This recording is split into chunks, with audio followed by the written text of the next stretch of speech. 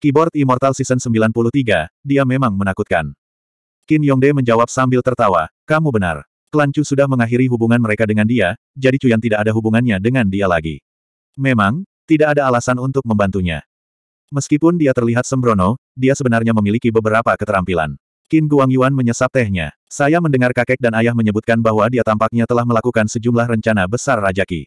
Akan lebih baik jika kita menjaga jarak darinya untuk saat ini. Sangat sulit membayangkan bagaimana rencana Raja Ki dan kakek kita hancur karena anak muda itu. Qin Yongde terkejut. Eksistensi macam apa Raja Ki itu? Juga, orang-orang dari generasi kakek mereka adalah orang-orang yang mereka bahkan tidak berani berbicara terlalu keras di depan. Mereka hanya bisa menundukkan kepala dan mendengarkan. Namun, mereka benar-benar memandang bocah ini sebagai ancaman, dan dia bahkan membuat mereka sangat menderita. Bagaimana dia melakukannya? Itu mungkin karena pengaturan lain dari Yang Mulia. Dia adalah orang yang dipilih untuk melaksanakan tugas itu. Qin Guangyuan curiga tentang seluruh situasi. Itu adalah kesimpulan yang paling masuk akal. Sementara dua saudara laki-laki itu sedang menonton permainan tanpa mengangkat satu jari pun, ruangan pribadi lainnya juga cukup ramai. Sekelompok orang sedang berbicara dengan seorang anak muda di kursi utama. Tuan Muda Bi, yang dibawa adalah Viscount topi hijau yang baru diangkat. Saya tidak tahu mengapa, tetapi dia tampaknya telah memprovokasi Yi Zibing. Ada beberapa drama yang menyenangkan untuk ditonton sekarang. Mereka mengelilingi seorang pemuda tampan. Hidungnya tinggi dan lurus, tetapi ujungnya memiliki sedikit pengait. Bersama dengan bibirnya yang tipis dan matanya yang sipit, itu memberinya perasaan yang agak menyeramkan. Pria muda itu bangkit dan berkata, ayo pergi dan lihat. Yang lain kaget. Tuan Muda Bi, mengapa kita tiba-tiba terlibat? Anak muda itu berkata sambil tersenyum, Zuan ini mungkin anjing setia adik perempuanku. Bahkan jika dia seekor anjing, hanya tuannya yang boleh memukulnya, kan? Bukankah Yi Zibing ini terlalu arogan? Yang lain semua berkata dengan senyum lebar, Tuan Muda Bi adalah seseorang yang memperlakukan bawahannya dengan baik. Baiklah, ayo pergi dan beri pelajaran pada Yi Zibing itu. Yang lain hanya ada di sana sebagai penonton, jadi mereka jelas tidak takut akan hal-hal yang tidak terkendali. Mereka bangkit dan mendekat untuk ikut bersenang-senang. Pemuda ini adalah kakak laki-laki Bi Linglong, putra tertua dari klan Bi, Bi Xiang. Sementara itu, di sisi lain, Gao Ying dan Pei Yu berdiri di depan petugas pengadilan.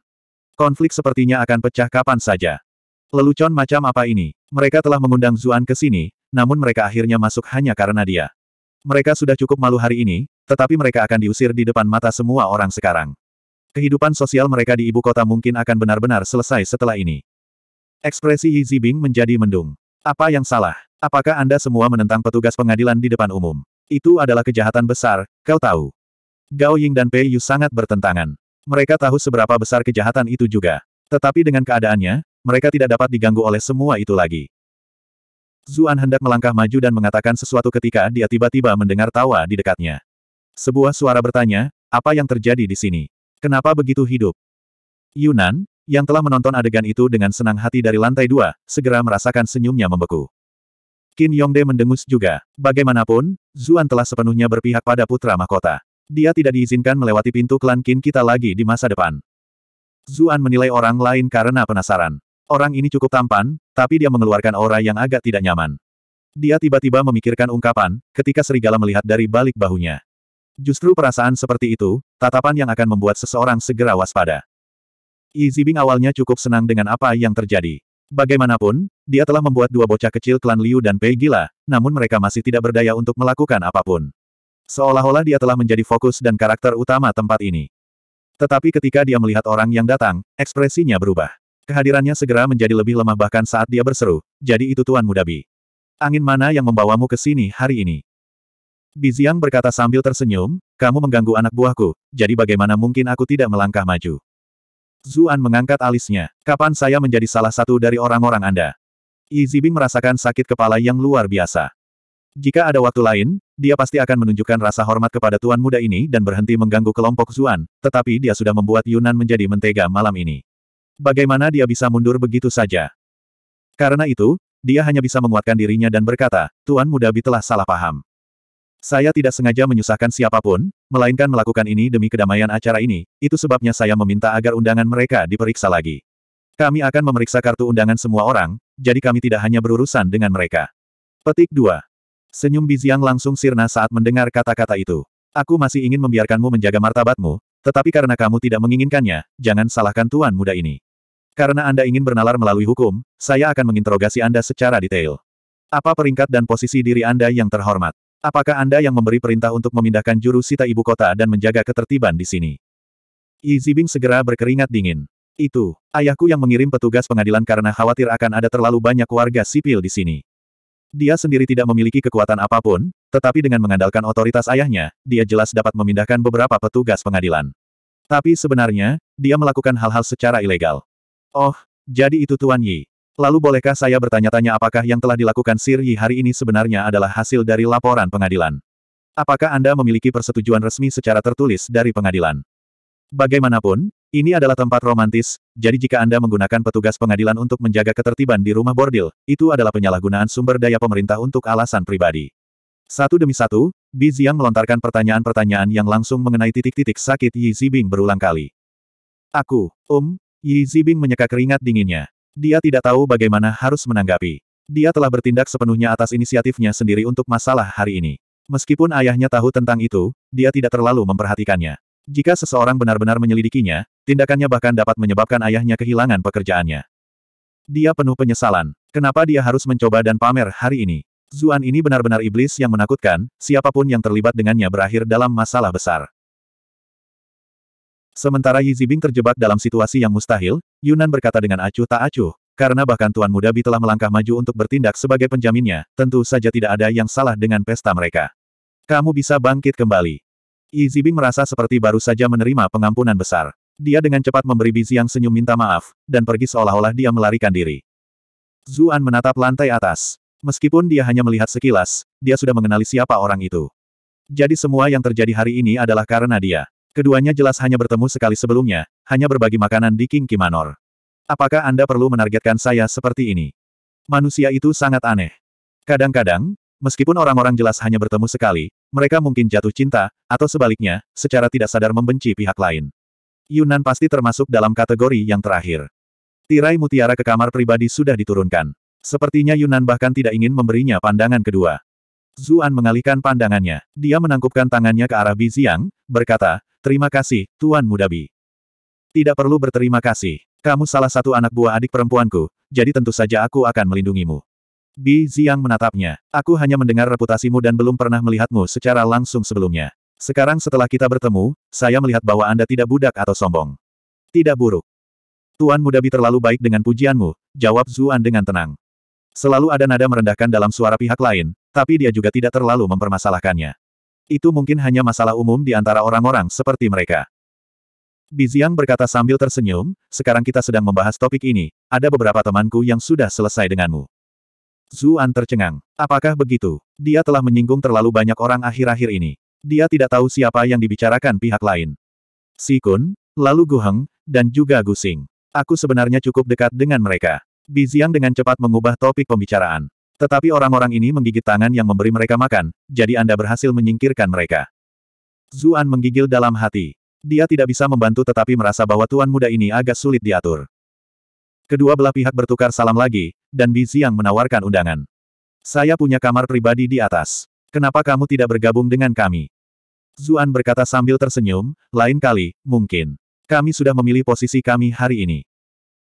Dilihat dari bagaimana tuan muda ini dikelilingi oleh para penjilat, Zuan dapat dengan mudah membayangkan bahwa dia harus mendengarkan sanjungan tanpa akhir jika dia pergi ke sana. Dia lebih suka minum dengan gembira bersama Gao Ying dan Pei Yu. Selain itu, Nada dan ekspresi Biziang selalu membuatnya merasa seperti sedang diremehkan seperti seorang pelayan. Persetan itu, saya bahkan telah bermain-main dengan bos penyerbuan seperti Zhao Han dan Kaisar pertama. Anak ini pikir dia siapa? Biziang sedikit mengernyit saat melihat Zuan menolak, tapi dia segera menyembunyikannya. Tidak apa-apa, dia tidak mengatakan apa-apa lagi, dan kelompoknya dengan cepat pergi. Begitu mereka pergi, teman-temannya bergumam, orang itu benar-benar tidak tahu bagaimana menghargai bantuan. Dia benar-benar menolak undangan Tuan Muda Bi. Bi Ziang tetap tanpa ekspresi. Orang yang cakap selalu memiliki sedikit kebanggaan. Ini seperti membesarkan seekor elang, itu akan menjadi patuh jika kamu membesarkannya untuk sementara waktu. Petik 2. Sementara itu, kelompok tiga orang Zuan berhasil ditemukan. Seorang pelayan dengan cepat datang dengan makanan dan minuman. Mereka tidak berada di salah satu kamar pribadi, tapi itu masih tempat yang bagus. Mudah untuk melihat bahwa Gao Ying telah menaruh banyak perhatian dalam masalah ini. Tapi itu hanya membuat Yi Zibing tampak semakin membenci. Undangan Scarlet jelas telah mempersiapkan semua tempat sesuai dengan undangan, namun dia telah mengirim orang untuk menghentikan mereka di luar. Kakak Su, aku akan meminumkan roti panggang ini untukmu dulu. Apa yang terjadi hari ini benar-benar memalukan, kata Gao Ying, malu. Jangan khawatir tentang itu. Itu terjadi karena seseorang menyebabkan masalah di belakang layar. Zuan menghabiskan alkoholnya dalam satu tegukan. Saat mereka mengobrol, tanpa disadari suasana menjadi lebih riang dan bersemangat. Mereka membicarakan segala macam hal. Akhirnya, mereka berbicara tentang Bi Xiang dari sebelumnya. Orang itu, dia dilahirkan untuk menjadi seorang protagonis. Gao Ying dan Pei Yu menghela nafas pada saat yang bersamaan. Zuan tercengang. Apa-apaan, ini adalah pertama kalinya dia mendengar seseorang menggambarkannya seperti itu. Jika Bi Xiang adalah protagonis, lalu apa aku? Gao Ying sepertinya sudah menebak apa yang dipikirkan Zuan ketika dia melihat ekspresi terkejutnya. Dia menjelaskan sambil tersenyum, dulu, Nyonya Klan Bi bermimpi tentang Kilin, dan dia kemudian. Semua orang di ibu kota tahu bahwa klan Bi telah menghasilkan putra seperti Kilin bahkan sebelum dia lahir. Zuan bertanya, lalu bagaimana jika ayahnya ditipu oleh seorang Kilin? Gao Ying terdiam. Meskipun ungkapan seperti itu tidak ada di dunia ini, itu tidak menghentikannya untuk mengetahui apa yang Zuan bicarakan. Pei Yu menahan keinginan untuk tertawa dan berkata, Saudara Zhu, tidak apa-apa jika Anda mengatakan hal ini secara pribadi dengan kami, tetapi itu akan menyebabkan kegemparan besar jika menyebar keluar. Bi Ziang selalu agak sombong. Dia mungkin akan jatuh cinta padamu jika dia mendengarnya. Zuan mengangguk dan bertanya, apakah itu satu-satunya alasan mengapa dia dikenal sebagai seseorang yang terlahir sebagai protagonis? Tentu saja tidak, lanjut Gao Ying. Pada hari dia dilahirkan, kecemerlangan warna-warni memenuhi langit, dan aroma manis memenuhi udara. Menurut apa yang dikatakan para pelayan klan Bi, seluruh klan Bi dipenuhi dengan aroma yang berbeda. Zuan mengutuk dalam hati. Mengapa itu terdengar seperti penampilan suku bus yang aneh? Tetapi karena pertimbangan hati yang lembut dari pasangan itu, dia memutuskan untuk tidak mengatakannya dengan keras. Pei Yu mau tak mau menambahkan, Tuan Bi harus memasuki hutan belantara untuk menumpas binatang buas ketika dia masih muda. Dia dibawa dalam sebuah perjalanan. Selama perjalanan itu, dia berkeliaran karena kecerobohan bawahannya. Klan Bi menjadi gila saat mereka mencarinya, tetapi mereka tidak pernah menemukannya, jadi mereka mengira dia telah mati. Bagaimanapun, hutan belantara dipenuhi dengan segala macam binatang. Bahkan ahli peringkat ke-6 akan berada dalam bahaya besar di tempat seperti itu. Tetapi siapa yang menyangka bahwa setelah tiga hari, Biziang akan kembali sendiri. Dia bahkan mengendarai Zuyu, satu. Petik dua. Zuyu. Zuan bertanya, tercengang. Pei Yu menjelaskan, ini adalah binatang keberuntungan yang legendaris. Ia memiliki tubuh harimau dan kepala singa, dan bulu putih dengan garis-garis hitam. Ekornya sepanjang tubuhnya, dan dapat menempuh jarak 10.000 li dalam satu hari.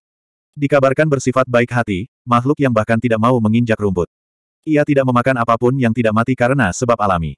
Itulah mengapa orang-orang dunia menandainya sebagai simbol kebajikan dan kebenaran. Zuan mengingat deskripsi serupa tentang Zuyu dari dunia masa lalunya. Tapi deskripsi membuatnya terdengar seperti harimau putih. Lalu, Zuyu itu menjadi tunggangannya, binatang keberuntungan yang mengakui Bi Xiang sebagai tuannya. Itu benar-benar menciptakan gangguan yang cukup besar. Pei Yu sangat iri saat dia menjelaskan masalah ini. Dia benar-benar berharap bahwa karakter utama adalah dia. Dia memang sedikit berbeda dari orang lain, pikir Zuan dalam hati. Apakah klan Bi mempersiapkan seluruh cerita ini? Tetapi tidakkah mereka takut akan campur tangan kaisar jika mereka bertindak sejauh itu dengan kampanye mereka? Bukan itu saja, kata Gao Ying. Suatu kali, dia pergi bepergian, tetapi kemudian dia secara tidak sengaja jatuh dari tebing. Tidak hanya dia tidak mati, dia bahkan memperoleh warisan kuno, pedang penciptaan dunia. Itu adalah teknik yang bahkan telah dipuji oleh para libationer di masa lalu. Zuan berpikir dalam hati, anak ini benar-benar tampak seperti protagonis novel ringan. Orang lain akan binasa sepenuhnya setelah jatuh dari tebing, tetapi jika karakter utama jatuh, mereka tidak hanya akan menemukan harta karun dan teknik rahasia, mereka bahkan mungkin bertemu dengan wanita cantik. Ketika dia masih bocah sekolah menengah, dia percaya semua omong kosong novel ringan itu, bahwa tebing berarti peluang. Tapi tentu saja, sebagai orang yang sehat secara intelektual, dia tidak akan pernah melompat dari tebing. Tentu saja, dia masih bisa membuat jalan memutar di sekitar tebing untuk memeriksa apakah ada manual rahasia. Langit tidak mengecewakan. Suatu kali, dia menemukan sebuah buku kecil di bawah tebing, dan dia samar-samar melihat kata-kata sembilan yang di sampulnya. Dia sangat gembira saat itu. Dia mengira dia menemukan seni sembilan yang surgawi, yang legendaris, tetapi hanya ketika dia mengambilnya dia melihat kata-kata, manual produsen mesin susu kedelai sembilan yang. Dia tidak pernah mempercayai cerita peluang tebing bodoh itu lagi setelah pengalaman itu. Namun hari ini, sebenarnya ada beruntung yang membuatnya marah dan cemburu lagi. Juga, Juga, saya mendengar bahwa setiap kali dia pergi, dia selalu menemukan uang di tanah. Pei Yu merasa semakin sedih semakin dia berbicara. Menemukan uang di tanah adalah impian setiap orang, bukan? Seseorang bisa pergi ke rumah bordil setiap hari tanpa mengkhawatirkan uang. Apa-apaan, persetan dengan pria itu. Berapa banyak uang yang dia temukan saat itu, setelah bertahun-tahun. Bahkan Zuan mulai cemburu. Bagian yang paling konyol adalah bahwa setiap orang yang tidak cocok dengannya mengalami berbagai macam kecelakaan. Beberapa akhirnya menginjak kotoran, beberapa di kulit pisang, beberapa terkena di kepala oleh pot bunga. Beberapa dari mereka bahkan tersedak setengah mati saat minum air, Gao Ying berbicara tentang segala macam kejadian yang tidak masuk akal satu demi satu. Pada akhirnya, dia berkata sambil menghela nafas, akhirnya, orang-orang menjadi takut. Mereka semua merasa bahwa dia adalah seseorang yang diberkati oleh dunia, dan tidak ada yang berani menyinggung perasaannya lagi. Pei Yu berkata dengan cemas, kamu baru saja memperlakukannya dengan kasar, jadi siapa yang tahu jika sesuatu yang sial akan terjadi. Gao Ying berkata, tapi kamu tidak terlalu menyakitinya. Bahkan jika ada sedikit kemalangan, itu seharusnya tidak menjadi bahaya bagi hidupmu. Zuan ingin mengutuk keras ketika dia melihat betapa khawatirnya keduanya. Ini benar-benar konyol. Bagaimana Zhao Han bisa membiarkan keberadaan absurd seperti itu terus ada di ibu kota? Tentu saja, dia tidak percaya hal-hal itu. Dia memutuskan untuk mengubah topik. Ngomong-ngomong, dia menyebut Sikun, Gusing, dan yang lainnya sebelumnya. Apakah hubungannya dengan mereka baik? Gao Ying menjelaskan, itu karena desas-desus putar keberuntungannya sehingga semakin banyak orang secara bertahap berkumpul di sekelilingnya. Di antara mereka, ada 18 individu yang latar belakang dan kemampuannya paling menonjol. Mereka sering berkumpul di taman pribadi Biziang, sehingga mereka dikenal sebagai 18 teman-taman. Sikun dan saudara klan Gu termasuk di antara anggota itu. Tentu saja, Sikun berada di dekat bagian depan peringkat, sementara saudara-saudara klan Gu dekat dengan bagian bawah. Zuan berpikir dalam hati, tidak heran Si Kun sangat arogan di Bright Moon City. Jadi dia mempelajarinya dari Bi Xiang. Keduanya memang memiliki banyak kesamaan, jadi tidak heran mereka menjadi teman baik. Adapun Gu Heng dan Gu Xing, heh. Jelas sekali orang macam apa yang ada dalam lingkaran pertemanan Bi Xiang. Tiba-tiba, melodi sitar memenuhi udara. Aula yang berteriak-teriak segera menjadi sunyi. Mereka yang hadir semua melihat ke arah pavilion di tengah lantai dua. Namun, ada lapisan tirai dan manik-manik mutiara di jalan. Mereka samar-samar bisa melihat siluet, tapi mereka tidak bisa melihat wajah orang itu sama sekali. Nona Nansun sedang memainkan sitarnya. Pei Yu sangat bersemangat sehingga dia berdiri. Ini benar-benar melodi dari surga. Gao Ying juga menjulurkan lehernya ke lantai dua. Zuan adalah satu-satunya yang tetap acuh tak acuh. Dia memiliki begitu banyak wanita cantik yang menakjubkan di sisinya, dan semuanya adalah ratu pelacur juga. Saintes Qiu Honglei dari Sekte Iblis juga telah melakukan daya tarik, jual seni, bukan tubuh ini. Bukankah dia jauh lebih baik daripada ratu pelacur lain yang mencoba melakukan hal yang sama? Adapun musik sitar, sebenarnya tidak ada yang istimewa. Dia telah mendengar semua jenis musik Cina, Jepang, dan Barat sebelumnya. Dengan begitu banyak karya klasik yang luar biasa, standarnya telah dinaikkan tinggi-tinggi. Hanya sitar saja yang tampak agak terlalu hambar dan tidak berbuat banyak untuknya. Alasan dia datang ke sini adalah untuk mencari cara untuk menjatuhkan Yunan. Tapi dia masih belum memikirkan rencana bagus. Sementara itu, sosok cantik lainnya dengan hati-hati memeriksa situasi dari ruang lantai dua.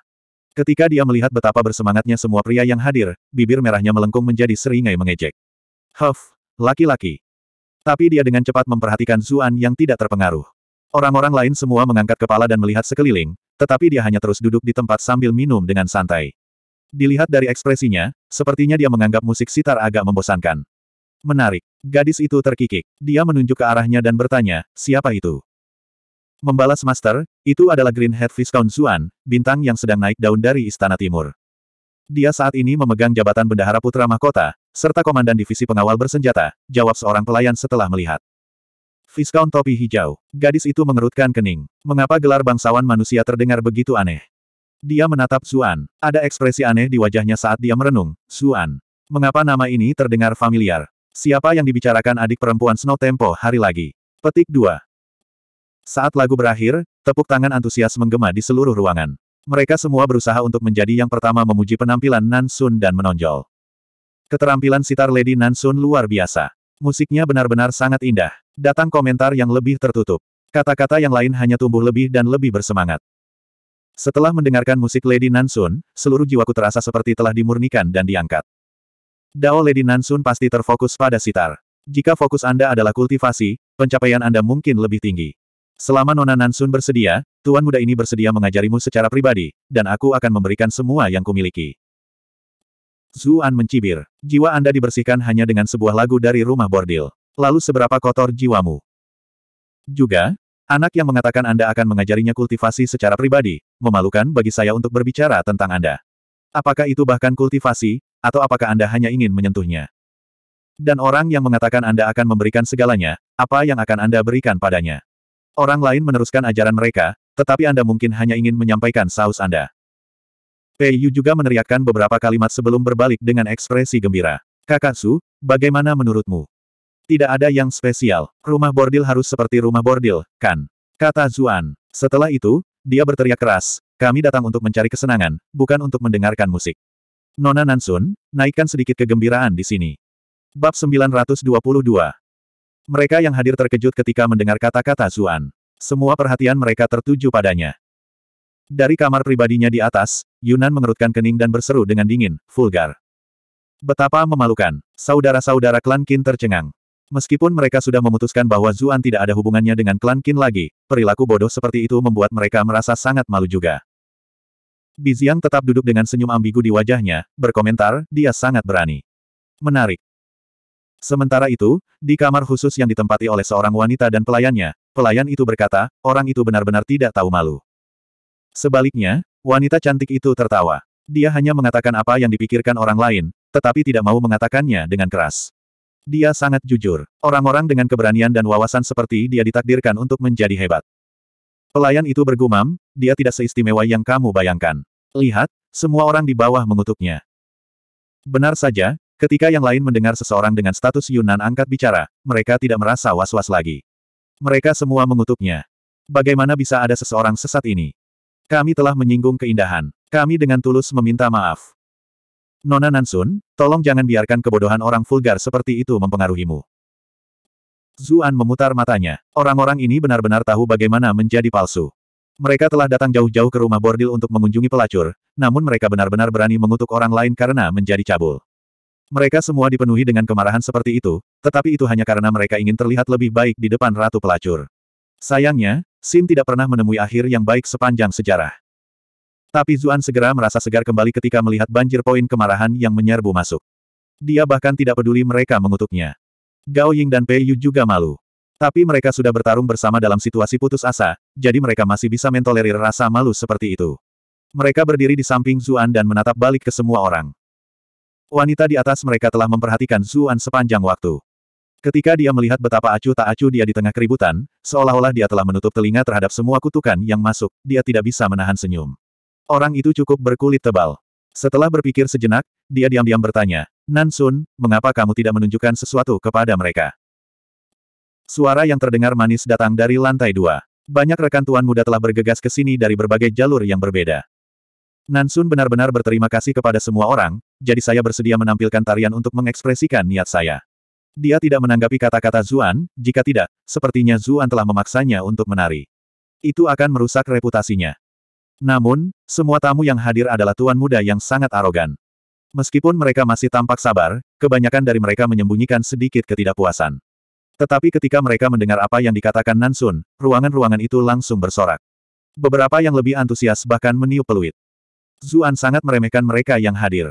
Jangan lupa orang yang menggali sumur saat Anda minum air. Para idiot ini mengutukku dengan sangat antusias, tetapi bukankah mereka menikmati diri mereka sendiri? Pei Yu berkata dengan penuh semangat, saat itu ketika Nona Nansun menari untuk pertama kalinya, keahliannya telah mengejutkan seluruh penonton. Sayangnya, dia tidak terlalu sering menari, dan aku bahkan belum pernah melihatnya menari selama aku di sini. Saya benar-benar berbagi kekayaan saudara Zhu hari ini. Petik 2.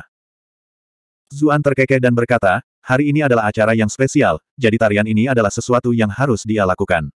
Itu tidak ada hubungannya denganku. Kakak Zu terlalu rendah hati, jawab Pei Yu. Tapi dia segera kehilangan minat untuk berbicara, karena tirai di atas perlahan terbuka, memperlihatkan sosok indah di belakang mereka. Nansun mengenakan gaun merah muda. Itu agak lebih sembrono daripada pakaian putri keluarga kaya. Lekuk tubuhnya yang dewasa terlihat samar-samar, tetapi bahkan jika seseorang mengira dapat melihat sesuatu, ia dapat menatap sampai matanya menjadi perih, namun ia tetap tidak dapat melihat apa pun.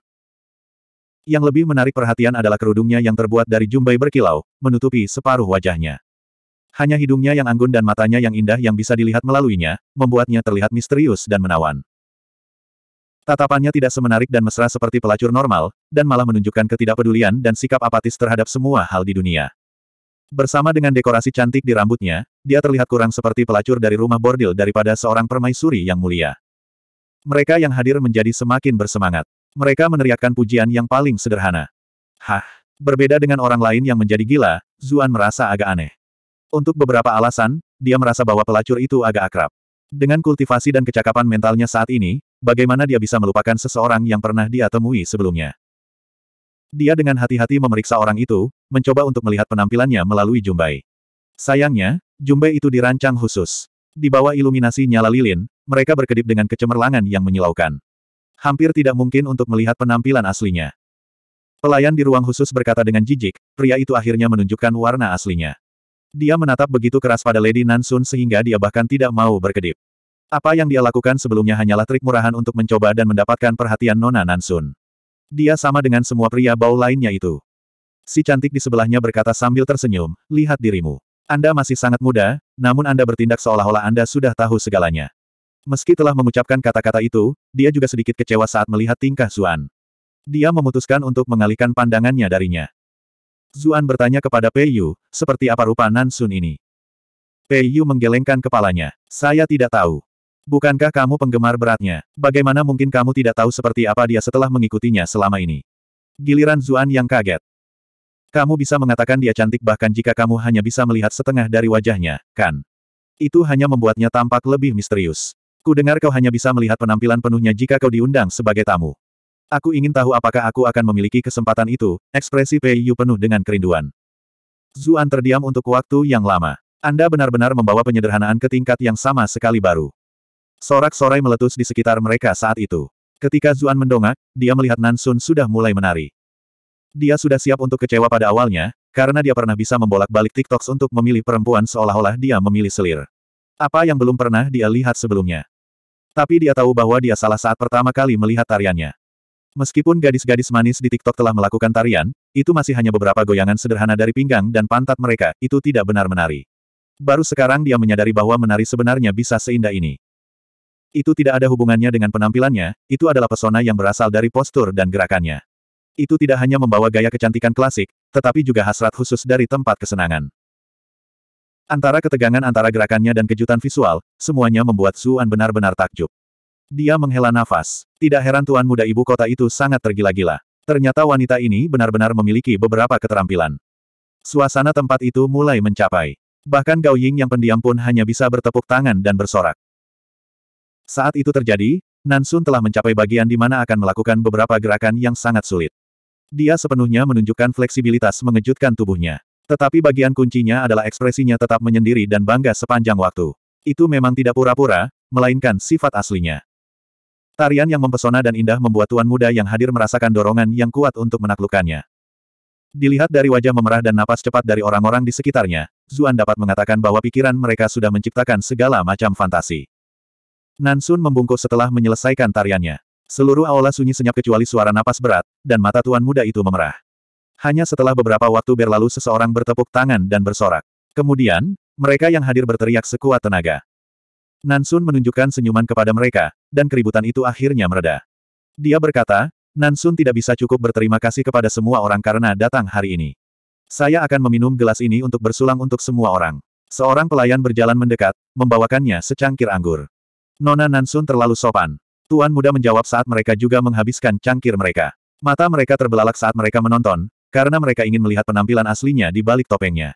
Sayangnya, dia menutup mulutnya saat dia minum. Itu elegan, tetapi melindungi kemisteriusannya. Mereka hanya bisa menghela nafas menyesal. Suasana menjadi hidup kembali. Sekarang saatnya untuk permainan minum. Tuan muda semuanya menjadi waspada. Mereka tahu bahwa momen kunci telah tiba. Meskipun tidak disebutkan secara eksplisit, mereka tahu. Ini bukan sesuatu yang bisa dikatakan pelacur secara terbuka, karena semua orang yang hadir memiliki status khusus di ibu kota. Bagaimana bisa seorang pelacur menjadi orang yang memilih di antara mereka semua? Tapi hanya ada satu pelacur, dan dia tidak bisa melayani banyak pria. Hanya satu orang yang bisa bertemu dengannya secara pribadi. Namun, ada begitu banyak dari mereka yang hadir. Bagaimana dia akan memilih satu? Meskipun itu adalah dunia di mana yang kuat berkuasa, di tempat seperti ini, pengetahuan tentang seni masih berlaku. Bagaimanapun, mengunjungi rumah bordil adalah sesuatu yang dilakukan oleh orang-orang yang halus dan elegan. Bertarung di salah satunya jelas tidak bisa diterima. Itulah mengapa permainan minum adalah solusi terbaik. Adapun game apa yang akan dimainkan, ada banyak pilihan, game tebak jari, isi kalimat, syair puitis, lagu, dan lain-lain. Yunan angkat bicara dari kamarnya. Karena kecantikan Lady Nansun menyembunyikan bulan dan mempermalukan bunga, bagaimana dengan hindari bulan? Teman-temannya semua menyuarakan persetujuan mereka. Orang-orang yang berhubungan baik dengannya juga mengambil kesempatan untuk berbicara. Bahkan mereka yang tidak cocok dengan Yunan harus mengakui bahwa dia benar-benar pandai menyanjung. Bahkan kata-kata pujian yang diteriakkan orang lain tidak dapat dibandingkan dengan apa yang baru saja dia katakan. Yang lain merasa sangat menyesal, berpikir, mengapa kami tidak memikirkan itu. Mereka akhirnya membiarkan Yu itu mengambil inisiatif. Lady Nansun tersenyum ke arahnya ketika dia mendengar kata-katanya, jadi dia pasti senang mendengarnya. Yunan, dengan penampilan dan bakatnya yang luar biasa, bersama dengan gerakan luar biasa yang baru saja dia lakukan, segera menjadikan dirinya musuh terbesar orang lain malam itu. Zuan menyenggol Pei Yu dengan sikunya, bertanya, apa itu, hindari bulan? Kamu bahkan tidak tahu apa itu, hindari bulan. Pei Yu tercengang. Apakah itu aneh? Ekspresi Zuan tidak berubah. Lalu, apakah Anda tahu TikTok dan YouTube? Uh, Pei Yu berpikir sejenak, tapi dia benar-benar tidak tahu hal itu. Dia berkata dengan senyum minta maaf, yang disebut permainan, hindari bulan, adalah permainan di mana setiap orang bergiliran membacakan baris puisi tanpa kata, bulan, di dalamnya, tetapi syairnya harus menggambarkan bulan. Jadi itu yang terjadi. Zuan senang mendengarnya. Itu benar di gang saya. Saya tidak menghafal semua ayat dan puisi klasik sialan itu dengan sia-sia. Tapi jika guru sastra saya tahu saya menggunakan apa yang dia ajarkan untuk mengejar pelacur, dia mungkin pingsan karena marah. Tunggu, tidak, mungkin dia akan menangis karena iri, karena itu adalah bidang keahliannya sejak awal. Lady Nansun menyarankan sambil tersenyum, karena itu saran Tuan Muda Yu, bagaimana kalau kita mulai dengan Tuan Muda Yu? Yang lain semua ingin menghentakkan kaki ketika mendengar kata-kata itu. Siapa di antara mereka yang tidak ingin menjadi yang pertama? Apakah Nona Nansun mengisyaratkan bahwa dia sudah menaruh hati padanya dengan memintanya untuk pergi duluan? Yunan tidak menolak undangan itu. Ekspresi bangganya yang biasa tetap ada, seolah-olah dia menganggap dirinya jelas merupakan pilihan yang paling cocok. Dia segera berkata tanpa perlu waktu untuk berpikir, cermin batu giok kait perak di atas pegunungan malam. Tuan muda Yu kreatif dan brilian, seperti yang diharapkan. Ayat ini memenuhi topik dengan baik, sebagai orang yang mengawasi permainan minum, Nyonya Nansun secara alami perlu memberikan beberapa komentar. Suaranya enak didengar, dan kata-katanya sangat memuji Yunan. Matanya tampak berbinar. Di mata yang lain, sepertinya dia menatap Yunan dengan kasih sayang yang dalam, seolah dia siap untuk bergegas ke pelukannya. Astaga, dia kreatif dan brilian. Dialah yang menyarankan ini, jadi tentu saja dia sudah mempersiapkan sebelumnya. Mereka mengutuk dalam hati. Mereka semua sangat cemburu. Nyonya Nan terlalu baik dengan pujianmu. Yunan tidak berbicara dengan sikap sombongnya yang biasa ketika dia berbicara dengan Nansun, dan malah tersenyum hangat. Dia sudah terkenal karena penampilannya di ibu kota sejak awal. Sekarang dia juga menunjukkan senyum yang dipoles dengan baik, dia menjadi lebih menawan. Banyak pelayan yang hadir kewalahan. Dia sangat tampan. Pelayan di ruangan khusus itu menepuk pipinya. Dia benar-benar jatuh cinta. Kecantikan luar biasa memutar matanya. Apakah ada kebutuhan untuk pergi sejauh itu? Ras Elf tidak kekurangan pria cantik, dan banyak dari mereka tidak lebih buruk darinya. Nona muda itu tidak mengerti, seru pelayan itu dengan penuh semangat. Pria-pria dari ras Elf terlihat terlalu lemah. Mereka tampan, tapi mereka agak terlalu feminim. Mereka tidak memiliki kejantanan. Dan ketampanan adalah sesuatu yang harus menonjol. Ada begitu banyak pria tampan di ras elf, yang membuat mereka semua tampak biasa saja. Tapi jika Anda melihat pria ini, dia seperti burung bangau di kawanan ayam. Itu membuatnya tampak jauh lebih tampan. Kecantikan luar biasa itu tertawa tanpa sadar. Apa yang kamu katakan sedikit masuk akal, tetapi ada orang lain yang tidak terlihat buruk di sini. Misalnya, ada Tuan Muda Bi, dan yang bermarga Zu tidak terlalu buruk, dia telah mengatakan bahwa Zuan juga cukup tampan, tetapi dia dengan cepat mengubah kata-katanya ketika dia mengingat perilakunya sebelumnya. Daripada penampilan, saya lebih terkesan dengan literatur dan budaya umat manusia yang luas. Mereka jelas sudah dominan dalam pertempuran, jadi jika mereka unggul di bidang ini, apakah ras kita akan bisa menonjol? Sedikit kesedihan muncul di wajahnya. Pelayan itu dengan cepat berseru, Nona muda, tidak perlu merasa begitu khawatir. Umat manusia hanya menggunakan keterampilan sastra ini di tempat-tempat asmara, mereka tidak digunakan di panggung yang lebih besar. Bukankah itu berita bagus untuk balapan kita? Keindahan yang luar biasa itu tercengang. Dia menatap pelayan itu dengan terkejut dan berkata, tidak buruk, saya tidak berharap untuk mendengar sesuatu yang begitu dalam dari Anda. Petik 2. Pelayan itu cemberut dan menghentakkan kakinya. Nona muda. Permainan, hindari bulan, berlanjut, tetapi mereka yang mengejar Yunan tidak begitu luar biasa. Lagi pula, tidak ada yang tahu bahwa ini adalah permainan minum yang akan mereka mainkan. Mereka tidak sesiap Yunan. Sudah layak jika mereka bisa menemukan sesuatu yang cocok dengan topik. Keanggunan dari apa yang mereka katakan secara alami tidak bisa dibandingkan dengan Yunan sama sekali. Yang lebih membuat frustrasi adalah mereka tidak punya pilihan selain minum, karena mereka tidak bisa memikirkan puisi apa pun. Nansun mengucapkan komentar lembutnya selama proses berlangsung. Bahkan jika apa yang dikatakan tamu itu bukanlah sesuatu yang istimewa, mereka masih bisa mendengar pujiannya. Bahkan para tamu yang tidak dapat menemukan apa pun menerima senyum dan semangatnya. Sampai-sampai, karena tidak ada yang dibuat terlihat buruk, mata mereka hanya menyala dengan lebih banyak gairah ketika mereka melihat Nansun. Mereka semua sangat menginginkannya. Zuan merasa situasinya sangat lucu. Pelacur hanyalah pelacur. Tidak peduli seberapa jauh dan bangga mereka bertindak, keterampilan mereka terlatih dengan baik. Mereka tahu bagaimana membuat orang merasa hebat. Bagaimanapun juga, para pemburu terbaik sering kali tahu bagaimana tampil seperti mangsa. Akhirnya, giliran Bizi yang tiba. Perhatian orang-orang beralih padanya. Bagaimanapun, dia adalah satu-satunya yang latar belakang dan kehadiran keluarganya dapat dibandingkan dengan Yunan. Setelah hening sejenak, dia berkata dengan cerah, air kemasan beriak di bawah pohon willow, keindahannya diimbangi oleh bangunan batu giok yang bagus. Sama seperti Yunan, Biziang juga memiliki anak buahnya. Suara mereka mungkin lebih keras saat mereka bersorak, bagus sekali. Keindahan luar biasa di ruang khusus itu mengangguk. Reputasi Biziang ini tidak sia-sia. Kekhawatiran segera memenuhi wajahnya. Jika Tuan Muda ras manusia sudah sangat terampil, itu sama sekali bukan pertanda baik bagi anggota klannya. Di luar, Nansun tersenyum. Dia sangat memuji ayat tersebut. Dibandingkan dengan kesopanan dasar yang dia tunjukkan pada orang lain, pujiannya jauh lebih tulus. Pei Yu merasa sangat sedih. Jika saya tahu bahwa itu akan terjadi hari ini, saya akan belajar lebih keras dan belajar beberapa puisi. Dia tidak memiliki kepercayaan diri untuk menang melawan Yunan dan Bi Xiang di bidang ini. Gao Ying berkata dengan ekspresi tegas, puisi bukanlah sesuatu yang istimewa, budidaya adalah yang paling penting. Saudara Pei, jangan biarkan wanita bordil mempengaruhi hati Daomu. Meskipun dia sendiri sangat menyukai pelacur ini, dia selalu menjadi seseorang yang dengan jelas memisahkan apa yang penting dan apa yang tidak. Dia tidak akan kehilangan arah karena hal seperti ini.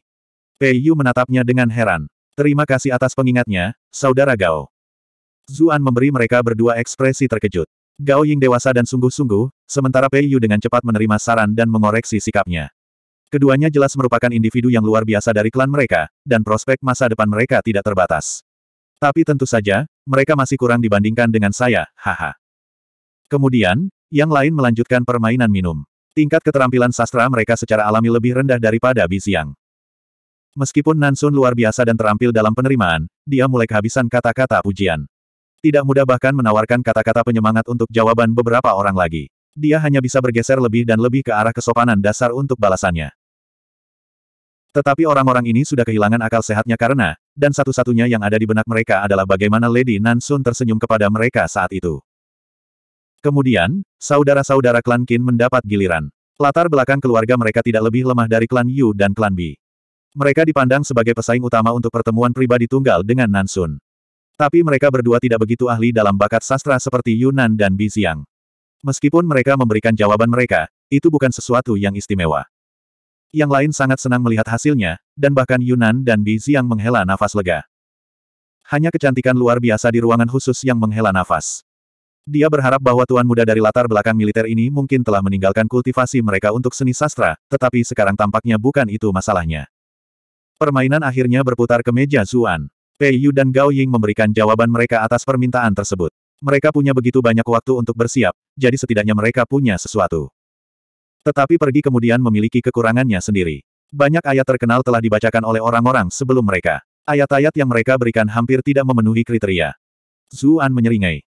Menilai dari apa yang dia dengar, meskipun kecakapan bela diri dunia ini berkembang dengan baik, keterampilan sastra orang membuatnya kurang terkesan.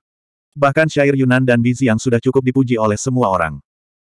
Setelah Nansun memuji Pei Yu dan Gao Ying, matanya yang indah beralih ke Zuan.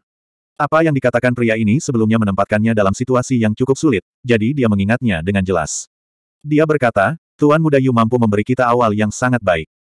Jika Tuan Muda ini dapat membawa game ini ke kesimpulan yang bagus, itu mungkin menjadi cerita yang hebat dalam dirinya sendiri. Petik 2. Yang lain mencemooh dan mencemooh. Para penonton ini tidak takut akan hal-hal yang tidak terkendali. Hanya Pei Yu dan Gao Ying yang terlihat khawatir. Pada titik ini, bahkan hanya memberikan balasan yang lumayan tidak cukup baik. Selama tidak sebagus syair Yunan, Zuan akan dengan mudah menjadi bahan tertawaan.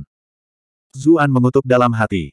Kalian benar-benar tahu cara menyimpan dendam, iya. Tapi maaf, Anda ditakdirkan untuk kecewa di sini. Saya memiliki banyak puisi hebat dari penulis Tang dan Song di gudang senjata saya. Bab 923 Karakter utama jelas harus muncul di saat-saat terakhir yang menentukan, kata Zuan.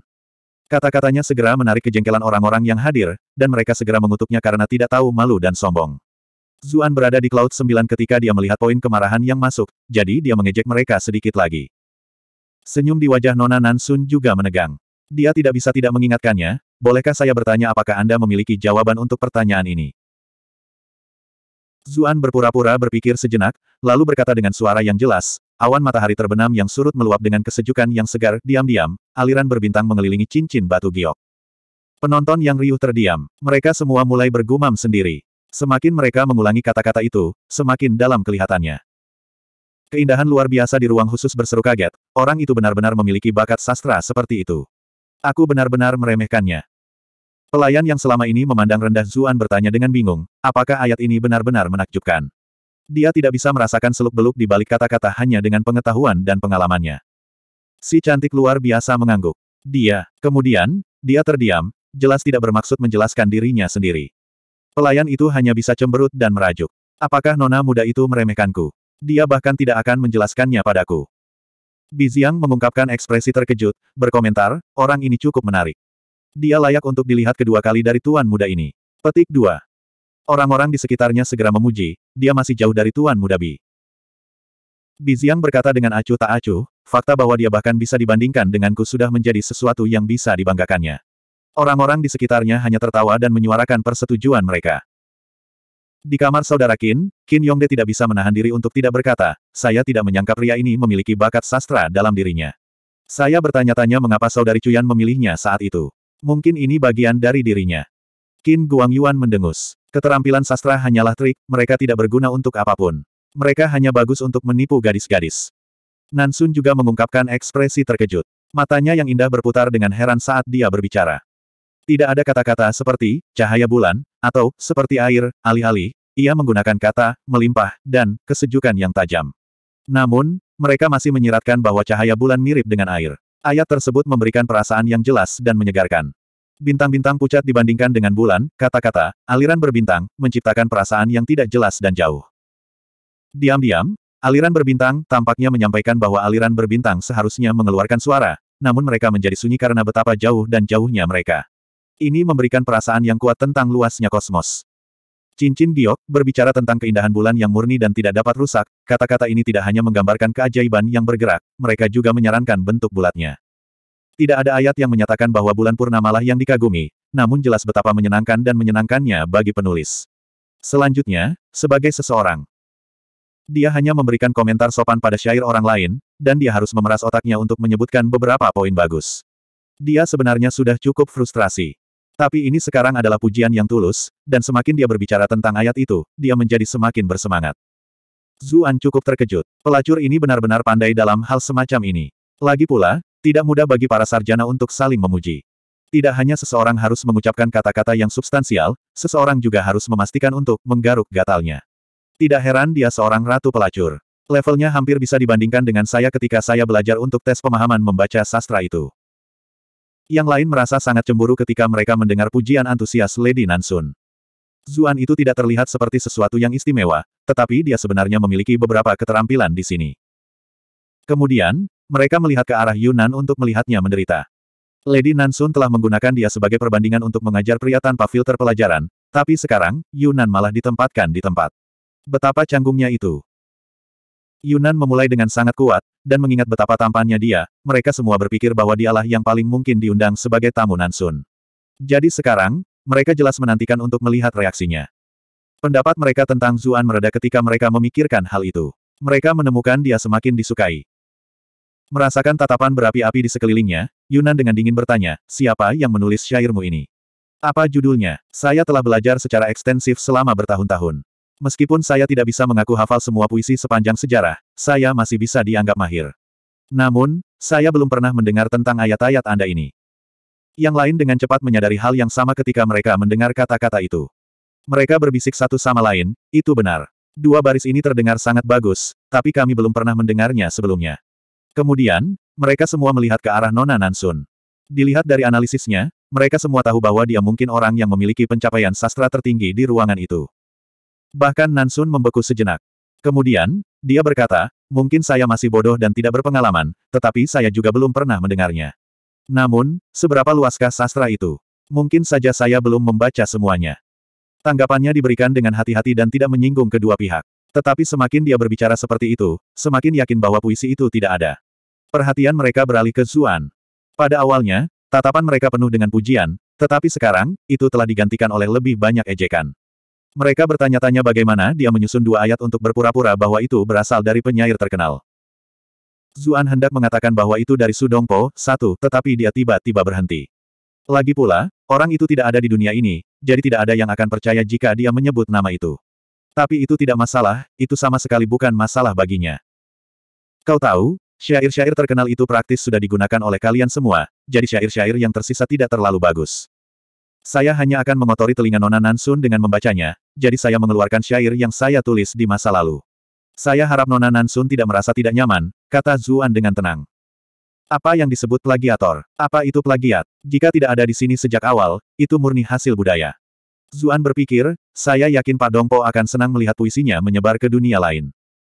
Mata Nansun berbinar. Ini adalah puisi yang Tuan Muda Su buat sendiri. Sikapnya berubah dengan cepat. Dia bahkan mulai menggunakan gelar, Tuan Muda. Saya telah menunjukkan sisi buruk saya kepada Nona Nansun, jawab Zuan. Dia tiba-tiba teringat bahwa banyak puisi terbesar dinasti Tang dan Song telah sering diedarkan di antara tempat-tempat kesenangan.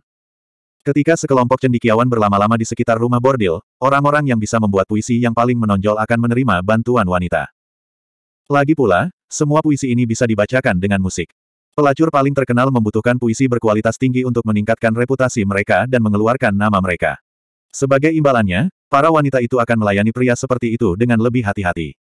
Tidak hanya mereka tidak akan mengambil uang, mereka malah akan memilih untuk kehilangan uang. Yang paling terkenal dari mereka semua adalah Liu Yong. Dia telah sangat dibenci oleh kaisar sehingga dia tidak pernah diizinkan berkarir secara resmi, jadi dia hanya bisa menghabiskan hidupnya di tempat kesenangan. Dia tidak pernah menghabiskan satu sen pun, dan justru para wanita rumah bordil yang membesarkannya. Liu Yong telah menjalani kehidupan yang melarat dan membuat frustrasi, dan dia bahkan tidak punya uang untuk pemakaman ketika dia meninggal. Pada akhirnya, para pelacur kota telah mengumpulkan uang mereka untuk pemakamannya. Pah-pah, aku tidak akan pernah membiarkan diriku berakhir seperti itu. Pikir Zuan. Tuan muda benar-benar jenius. Mata Nansun berkedip cemerlang. Dia tampak penuh perasaan lembut ketika dia menatapnya. Para penonton langsung diliputi kecemburuan. Bahkan Biziang, yang telah berbaring dengan santai, tidak bisa menahan diri untuk tidak duduk. Dia hendak mengatakan sesuatu, tetapi dia tiba-tiba memikirkan sesuatu yang lain. Perhatiannya beralih ke Yunan, dan senyum muncul di wajahnya. Dengan orang itu di sini, tuan muda ini bahkan tidak perlu melangkah keluar dari sini. Benar saja, Yunan berkata, kamu bilang kamu yang menulis puisi ini. Itu bukan sesuatu yang dijiplak dari orang lain sebagai milikmu. Itu juga yang dipikirkan semua orang. Bagaimanapun, penampilan Zuan sebelumnya benar-benar sedikit. Klaim Zuan benar-benar terlalu sulit untuk mereka terima, jadi mereka secara tidak sadar memilih untuk tidak mempercayainya. Zuan mengangkat alisnya. Orang ini cukup tajam, tapi dia tidak akan pernah mengakuinya. Sebagai gantinya, dia membalas, jika bukan saya yang membuatnya, apakah Anda yang menulisnya saat itu? Jika orang lain benar-benar menulis puisi ini, bagaimana mungkin puisi itu bisa disembunyikan begitu lama? Saya yakin itu sudah menyebar ke seluruh dunia sejak lama. Mereka yang mendengarkan merasa penjelasannya masuk akal juga. Jika ada yang bisa menulis sesuatu seperti ini, mereka pasti sudah terkenal sejak lama. Tidak mungkin mereka akan menunggu untuk membiarkan orang lain menjiplak mereka. Bahkan Yunan menjadi tidak yakin. Tapi ketika dia melihat ekspresi sombong Zuan, dia merasa kesal. Dia harus mendapatkan Lady Nansun hari ini, dia akan menyingkirkan siapa pun yang menghalangi jalannya. Karena itu, dia berkata dengan dingin, itu sulit untuk dikatakan. Mungkin beberapa sarjana muda dan luar biasa memperoleh pencerahan sebelum mereka meninggal, dan Anda kebetulan telah mendengarnya dan mengambilnya sendiri. Yi Zibing dan yang lainnya segera angkat bicara untuk mendukung Yunan. Mereka semua mengatakan klaimnya masuk akal. Yang lain yang hadir juga mengangguk, menganggap penjelasan itu masuk akal. Zuan tidak repot-repot berdebat dan berkata sambil tersenyum, menurut saya, Anda hanya cemburu. Seperti yang diharapkan, kecemburuan benar-benar mengubah seseorang. Wajah tampan Yunan menjadi agak merah. Dia menjawab, Tuan muda ini cemburu padamu. Huff, karena kamu mengatakan puisi itu milikmu, di mana sisanya? Anda harus tahu itu, bukan? Petik 2. Budaya sastra dunia ini belum sepenuhnya matang. Menurutnya, dua ayat ini sudah menghabiskan seluruh bakat seorang ulama. Bahkan jika itu adalah penulis aslinya, mereka mungkin tidak dapat menulis sesuatu yang lebih baik, apalagi seorang plagiator seperti Zuan. Senyum kembali ke wajahnya ketika Yunan melihat ekspresi aneh di wajah Zuan. Apa yang salah? Apakah Anda akan memberitahu saya bahwa Anda tidak punya waktu untuk menulis ayat-ayat lain? Pelayan di ruang khusus berkomentar dengan penuh semangat, Nona muda, saya baru saja akan mengatakan, bagaimana pria Zu itu bisa memiliki kemampuan. Tuan muda Yu pasti benar. Kamu hanya berpikir dia tampan. Keindahan luar biasa memutar matanya dan langsung mengekspos pelayan. Namun, Perhatiannya juga terfokus pada Zuan, dia ingin tahu bagaimana dia akan merespons. Zuan berkata sambil tersenyum, saya memang hanya memikirkan dua ayat saat itu, tetapi karena Tuan Muda Yu menempatkan saya di tempat, saya kebetulan memikirkan ayat-ayat berikut. Ekspresi Yunan berubah. Biziang bergembira atas kemalangan Yunan dan menambahkan, Oh, tolong, beritahu. Petik 2. Keindahan malam ini hanya saya kagumi sekali dalam hidup ini, namun tahun depan, ke mana saya akan pergi untuk menghargai cahaya bulan seperti itu? Zuan membaca sambil melihat Lady Nansun. Nansun tersipu. Dia berpikir dalam hati, apakah dia mengatakan bahwa dia mungkin tidak bisa bertemu denganku seperti ini tahun depan. Astaga! Seluruh ruangan menjadi sunyi ketika ayat-ayat itu diucapkan. Semakin mahir seseorang dalam seni sastra, semakin besar dampak dari kata-kata itu. Bahkan Yunan menggigil dalam hati. Dia tidak pernah memperlakukan Zuan sebagai masalah besar, tetapi sekarang, dia telah menemukan bahwa Zuan adalah lawan yang tangguh. Keindahan malam ini hanya saya kagumi sekali dalam hidup ini, namun tahun depan, ke mana saya akan pergi untuk menikmati cahaya bulan seperti itu, keindahan luar biasa di ruangan khusus itu berulang dengan tenang. Dia tiba-tiba merasa seolah-olah dia berada di tempat yang berbeda. Di mana dia akan berada tahun depan? Apakah dia bahkan bisa menghargai cahaya bulan? Dia berkata sambil menghela nafas, Yinger, aku merindukan rumah kita. Pelayan bernama Yinger menjawab dengan mata memerah, Nona muda, saya juga. Tuan muda benar-benar telah menulis puisi yang sangat bagus. Hanya dalam beberapa kata, Anda telah sepenuhnya menggambarkan suka dan duka hidup. Saya ingin tahu apa yang akan Anda beri judul untuk ayat ini. Nyonya Nansun bertanya dengan rasa ingin tahu. Zuan berpikir dalam hati, aku lebih baik membuat orang basah dengan tanganku. Mengenai namanya, sih kalau saya tahu. Satu. Sudah mengesankan bahwa dia telah mengingat puisi itu. Ujian saat itu belum menguji pengetahuan seseorang tentang judul, jadi tentu saja dia tidak akan repot-repot menghafalnya. Tepat saat dia akan menjawab, ketika dia melihat mata Nansun yang berkilau dan penuh harap, dia merasakan ledakan inspirasi dan berkata sambil tersenyum, puisi ini akan berjudul Autumn hadiah untuk Nansun. Nansun dibiarkan tidak percaya. Dia kemudian berseru, sangat gembira, terima kasih, Tuan Muda, atas hadiahmu. Sebagai pelacur terkenal di rumah bordil, dia secara alami memahami nilai puisi yang bagus. Tidak hanya akan membuatnya semakin populer di ibu kota, reputasinya juga akan dengan cepat menyebar ke seluruh dunia. Lebih penting lagi, setelah berabad-abad dan bahkan mungkin satu milenium kemudian, jika puisi ini masih ada, semua orang akan mengingat namanya. Berapa banyak tokoh luar biasa yang pernah ada sepanjang sejarah. Namun, berapa banyak dari mereka yang benar-benar dapat meninggalkan nama mereka. Orang-orang seperti Yunan mungkin sangat arogan, namun namanya bahkan mungkin tidak diketahui setelah beberapa abad berlalu. Adapun gadis-gadis yang bekerja di tempat kesenangan, itu bahkan lebih dari mimpi yang mustahil. Namun, puisi Zuan telah mencapai hal seperti itu dengan sangat mudah. Tidak hanya gadis-gadis lain dari rumah bordil akan cemburu, seluruh dunia akan merasa iri, jadi bagaimana mungkin dia tidak merasa bahagia. Tatapannya tidak lagi menunjukkan ketidakpedulian sebelumnya ketika mereka melihat Zuan, sebaliknya, itu dipenuhi dengan sentimen lembut. Wanita di ruangan khusus di atas mendengus. Huff, dia tampaknya cukup pandai dalam mengambil gadis. Meski begitu, nadanya terdengar main-main. Orang lain yang hadir jauh lebih emosional ketika mereka melihat apa yang terjadi. Mereka semua memelototi Zuan dengan rasa iri dan benci. Tak satu pun dari mereka mengharapkan Zuan mengambil pendekatan yang sama sekali berbeda ini. Dia benar-benar telah memenangkan kasih sayang Ratu Pelacur melalui sebuah puisi. Perasaan asam cemburu segera menyebar ke seluruh tempat. Bahkan rekan Zuan, Pei Yu pun iri. Dia berpikir dalam hati, mengapa saya tidak memiliki bakat di bidang ini.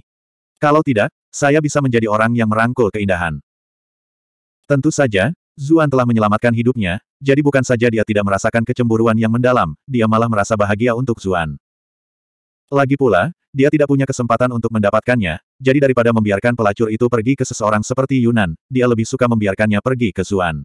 Dalam arti tertentu, mereka menyimpan barang-barang di antara orang-orang mereka sendiri. Dia memutuskan bahwa dia akan berjalan dengan lengan di bahu Zuan nanti. Dengan begitu, bahkan jika dia hanya bisa mencium aroma dewinya, itu sudah cukup. Biziang sedikit mengernyit, merasa seolah-olah dia terlalu banyak mengacau kali ini.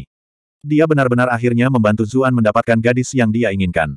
Dia juga menginginkan Nansun tidak peduli apa, sampai-sampai dia bahkan tidak peduli jika Yunan menghalangi jalannya. Namun sekarang, seseorang yang secara tidak sadar dia pandang sebagai bawahan tiba-tiba bangkit dan membuatnya merasa terancam. Bagaimana dia bisa membiarkan bawahannya memiliki wanita yang dia inginkan? Huff, jika itu adalah sesuatu yang saya inginkan, kecuali saya memberikannya kepada Anda, Anda tidak boleh mengejarnya, pikirnya dengan ekspresi acuh tak acuh. Dia tersenyum pada Yunan di dekatnya dan berkata, Saudara Yu, sudah cukup lama. Aku tidak menyangka kamu tiba-tiba menjadi sangat baik dalam mengisi peran pendukung. Petik 2. Wajah Yunan menjadi gelap. Bagaimana mungkin dia tidak merasakan ejekan dalam kata-kata Biziang? Sekarang sepertinya semua yang dia lakukan hanya membuat Zuan terlihat lebih baik. Dia telah membangun semua ketegangan itu agar reputasi Zuan bisa meningkat lebih jauh. Orang itu jelas memiliki niat buruk. Dia sendiri tidak senang, tetapi alih-alih melakukan apa pun, dia ingin menggunakan saya sebagai umpan meriam. Yunan tidak bodoh dan dengan cepat menyadari apa yang dilakukan Bi Xiang. Dia memutuskan untuk tenang dan bersabar untuk saat ini, menunggu dan melihat berapa lama Bi Xiang bisa bertahan. Tetapi siapa yang mengira bahwa Yi Zibing akan memperhatikan ekspresi pucat Yunan dan menyadari fakta bahwa dia sangat tidak senang karena terlihat buruk. Sebelumnya, Yi Zibing secara sukarela mengusir kelompok Zuan dengan percaya diri dan sombong, namun dia terpaksa kembali dengan perasaan sedih. Meskipun tidak ada yang mengatakan apa-apa ketika dia kembali ke kamar pribadi, ada sedikit ejekan dalam ekspresi mereka. Dia memutuskan untuk mengambil kesempatan untuk membantu Yunan melampiaskan kebenciannya, serta mendapatkan kembali martabat untuk dirinya sendiri. Dia berteriak, Tuan Muda Yu sudah mengatakan bahwa Anda mungkin secara tidak sengaja menemukan puisi ini dari orang lain. Siapa yang tahu jika mereka sudah menyelesaikan puisi itu sebelum mereka mati? Petik 2. Yunan mengutuk Yi Zibing karena menjadi idiot ketika dia mendengar kata-kata itu. Badut ini tidak tahu apa yang sedang terjadi sekarang. Tapi tiba-tiba, yang lain semua memperhatikan Yunan. Di mata mereka, semua yang dikatakan Yi Zibing mewakili niatnya. Jika dia membantah kata-kata itu, sepertinya dia mundur ke sini, yang mungkin menjadi tidak menguntungkan dalam mengejar Nansun. Bahkan Tuan Muda Yu yang mulia tidak mampu menanggung kerugian seperti itu, jadi dia hanya bisa menguatkan dirinya dan diam-diam menyetujui. Dia berbalik untuk menatap Yi Zibing. Dia ingin mengutuk orang bodoh ini sampai mati. Jika dia dan Zuan saling mengalahkan, orang yang paling diuntungkan adalah bocah klan Bi itu. Tapi Yi Zibing salah paham dengan tatapan Yunan. Dia berpikir bahwa Yunan mendorongnya dan memberinya tatapan pujian, jadi dia menjadi lebih antusias. Dia membuat Zuan terdengar seperti orang yang tercela dan tidak tahu malu yang memanfaatkan jerih payah orang lain untuk dirinya sendiri. Zuan sebenarnya cukup geli. Meskipun orang ini menyerangnya tanpa banyak berpikir, itu sebenarnya hampir semuanya benar. Tapi dia merasa bahwa penulis aslinya mungkin tidak akan keberatan. Nona Nansun menjadi agak tidak senang sebelum Yi Zibing bahkan bisa selesai berbicara dan berkata, Tuan Muda Yi, itu adalah tuduhan yang serius. Bolehkah saya bertanya apakah Anda punya bukti? Lelucon macam apa ini? Ini adalah kesempatan bagi namanya untuk tertinggal dalam sejarah. Bagaimana dia bisa membiarkan orang-orang ini merusak kesempatan seperti itu? Gao Ying dan Pei Yu segera menimpali, keduanya mencela Yi Zibing. Mereka membicarakan dendamnya dengan Zuan, dan bagaimana dia hanya mengatakan hal seperti itu untuk membalas dendam. Om, bukti. Tentu saja kami punya bukti, Yi Zibing kehilangan kata-kata. Dia tidak tahu bagaimana membuktikan apa yang dia katakan. Yunan mengerutkan kening. Dia tahu dia sudah kalah. Akan sangat buruk jika mereka melanjutkan dan dia harus menderita pukulan lain untuk reputasinya. Biziang mengutuk Yunan karena tidak berguna ketika dia melihatnya tetap diam. Karena itu, dia menunjuk ke salah satu pengikutnya. Orang itu dengan cepat mengambil petunjuknya dan berkata dengan keras, ini mudah dibuktikan. Mengapa kita tidak menyuruh Tuan Muda Zu menulis puisi di sini? Selama mencapai level yang sama dengan yang sebelumnya, itu akan membuktikan bahwa Tuan Muda Zu benar-benar berbakat. Petik 2. Gao Ying tidak bisa menahan amarahnya lagi dan berseru, bagaimana itu adil? Karya-karya kreatif ini biasanya dibuat melalui semburan inspirasi. Hanya ketika waktu dan talenta berbaris, karya yang luar biasa dapat dibuat, bagaimana kamu bisa membuat seseorang menemukan sesuatu di tempat. Petik 2. Dia juga berkecimpung dalam seni, dan tahu bahwa tidak banyak puisi sepanjang sejarah yang dapat dibandingkan dengan apa yang telah diciptakan oleh Zuan. Sudah luar biasa jika seseorang bisa menghasilkan satu bagian dari level itu, bagaimana orang bisa meminta yang kedua sesuai permintaan. Di atas, Qin Yongde berkata dengan bingung, orang yang menanyakan pertanyaan itu adalah seseorang dari pihak Bixiang. Bukankah Zuan seseorang dari Istana Timur? Mengapa? Qin Guangyuan berkata sambil mencibir, ini benar-benar contoh yang bagus dari Feme Fatale. Biziang selalu dipandang sebagai protagonis sepanjang hidupnya. Bagaimana dia bisa membiarkan orang lain menyentuh apa pun yang dia inginkan? Ini adalah situasi terbaik. Mereka hanya bisa melawannya dan menciptakan gesekan di antara mereka sendiri. Nansun berkata pelan, Tuan Muda Su, Anda bisa menolak. Tetapi bahkan sebelum dia menyelesaikan kalimatnya, kecantikan luar biasa di ruang khusus berbicara di kepalanya. Jangan hentikan dia. Mari kita lihat apakah dia curang di sini, atau apakah dia benar-benar memiliki keterampilan. Petik 2. Nan Sun terkejut. Butuh seluruh tekadnya untuk menghentikan dirinya dari melihat ke arah ruangan khusus itu. Mengapa guru begitu peduli pada manusia ini? Zuan menjawab sambil tertawa, tetapi bagaimana jika saya membuat puisi lain, dan Anda semua masih terus mengganggu saya seperti ngengat? Bukankah aku akan kesal sampai mati? Petik 2. Melihat bahwa Zuan tampaknya telah mengambil umpan, Yi Zibing sangat gembira dan dengan cepat berkata, selama kamu bisa membuat puisi dengan level yang sama, kami semua akan menerimanya dengan sepenuh hati. Kami tidak akan mengatakan apa-apa lagi. Ekspresi Yunan berubah. Dia tidak bisa lagi duduk diam dan menambahkan, tapi itu harus tentang keputusan yang kita pilih. Dia khawatir Zuan telah mengambil lebih dari satu puisi dari siapa yang tahu apa yang almarhum sarjana. Itu sebabnya dia menjelaskan bahwa itu harus sesuai dengan subjeknya. Dengan begitu, Bahkan jika Zuan entah bagaimana berhasil seberuntung itu untuk mengambil dua puisi yang sangat bagus, tidak mungkin itu akan menjadi topik yang sama. Itu masih akan sia-sia saat itu.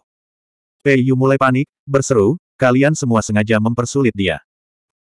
Zuan mengangkat tangannya dan menghentikan Pei Yu, berkata dengan acuh tak acuh, tidak apa-apa. Pilih topik apa pun yang Anda inginkan. Dia selalu cemburu pada para protagonis yang memamerkan keterampilan puisi mereka. Dia sendiri tidak pernah memiliki kesempatan seperti itu. Dia tidak bisa begitu saja mengambil seorang pria dari jalanan dan meminta mereka untuk bersaing dalam pembacaan puisi, kan? Namun hari ini, seseorang sangat ingin bermain bersamanya. Mengapa dia tidak mengambil kesempatan itu? Tetapi kata-kata itu menciptakan kegemparan besar ketika orang lain yang hadir mendengarnya. Banyak orang mengutuk Zuan karena sombong. Bagaimanapun, setiap penyair memiliki bidang keahliannya masing-masing. Mereka mungkin bisa menulis puisi yang bagus di bidang tertentu, tetapi mereka akan jauh lebih kekurangan di bidang lain. Sekarang Zuan telah mengatakan bahwa mereka dapat memilih topik apa pun, bukankah itu berarti dia pandai dalam semua topik? Dia memiliki kepercayaan diri untuk menulis sesuatu tentang topik apa pun yang akan terus beredar sepanjang zaman. Wanita misterius di ruangan khusus di atas tersenyum. Keberanian dan kebanggaan pria ini hampir setara dengan ras kita. Pelayan di sebelahnya mengerutkan hidungnya. Saya pikir dia hanya menembak mulutnya. Saya ingin melihat bagaimana dia menghadapi situasi ini.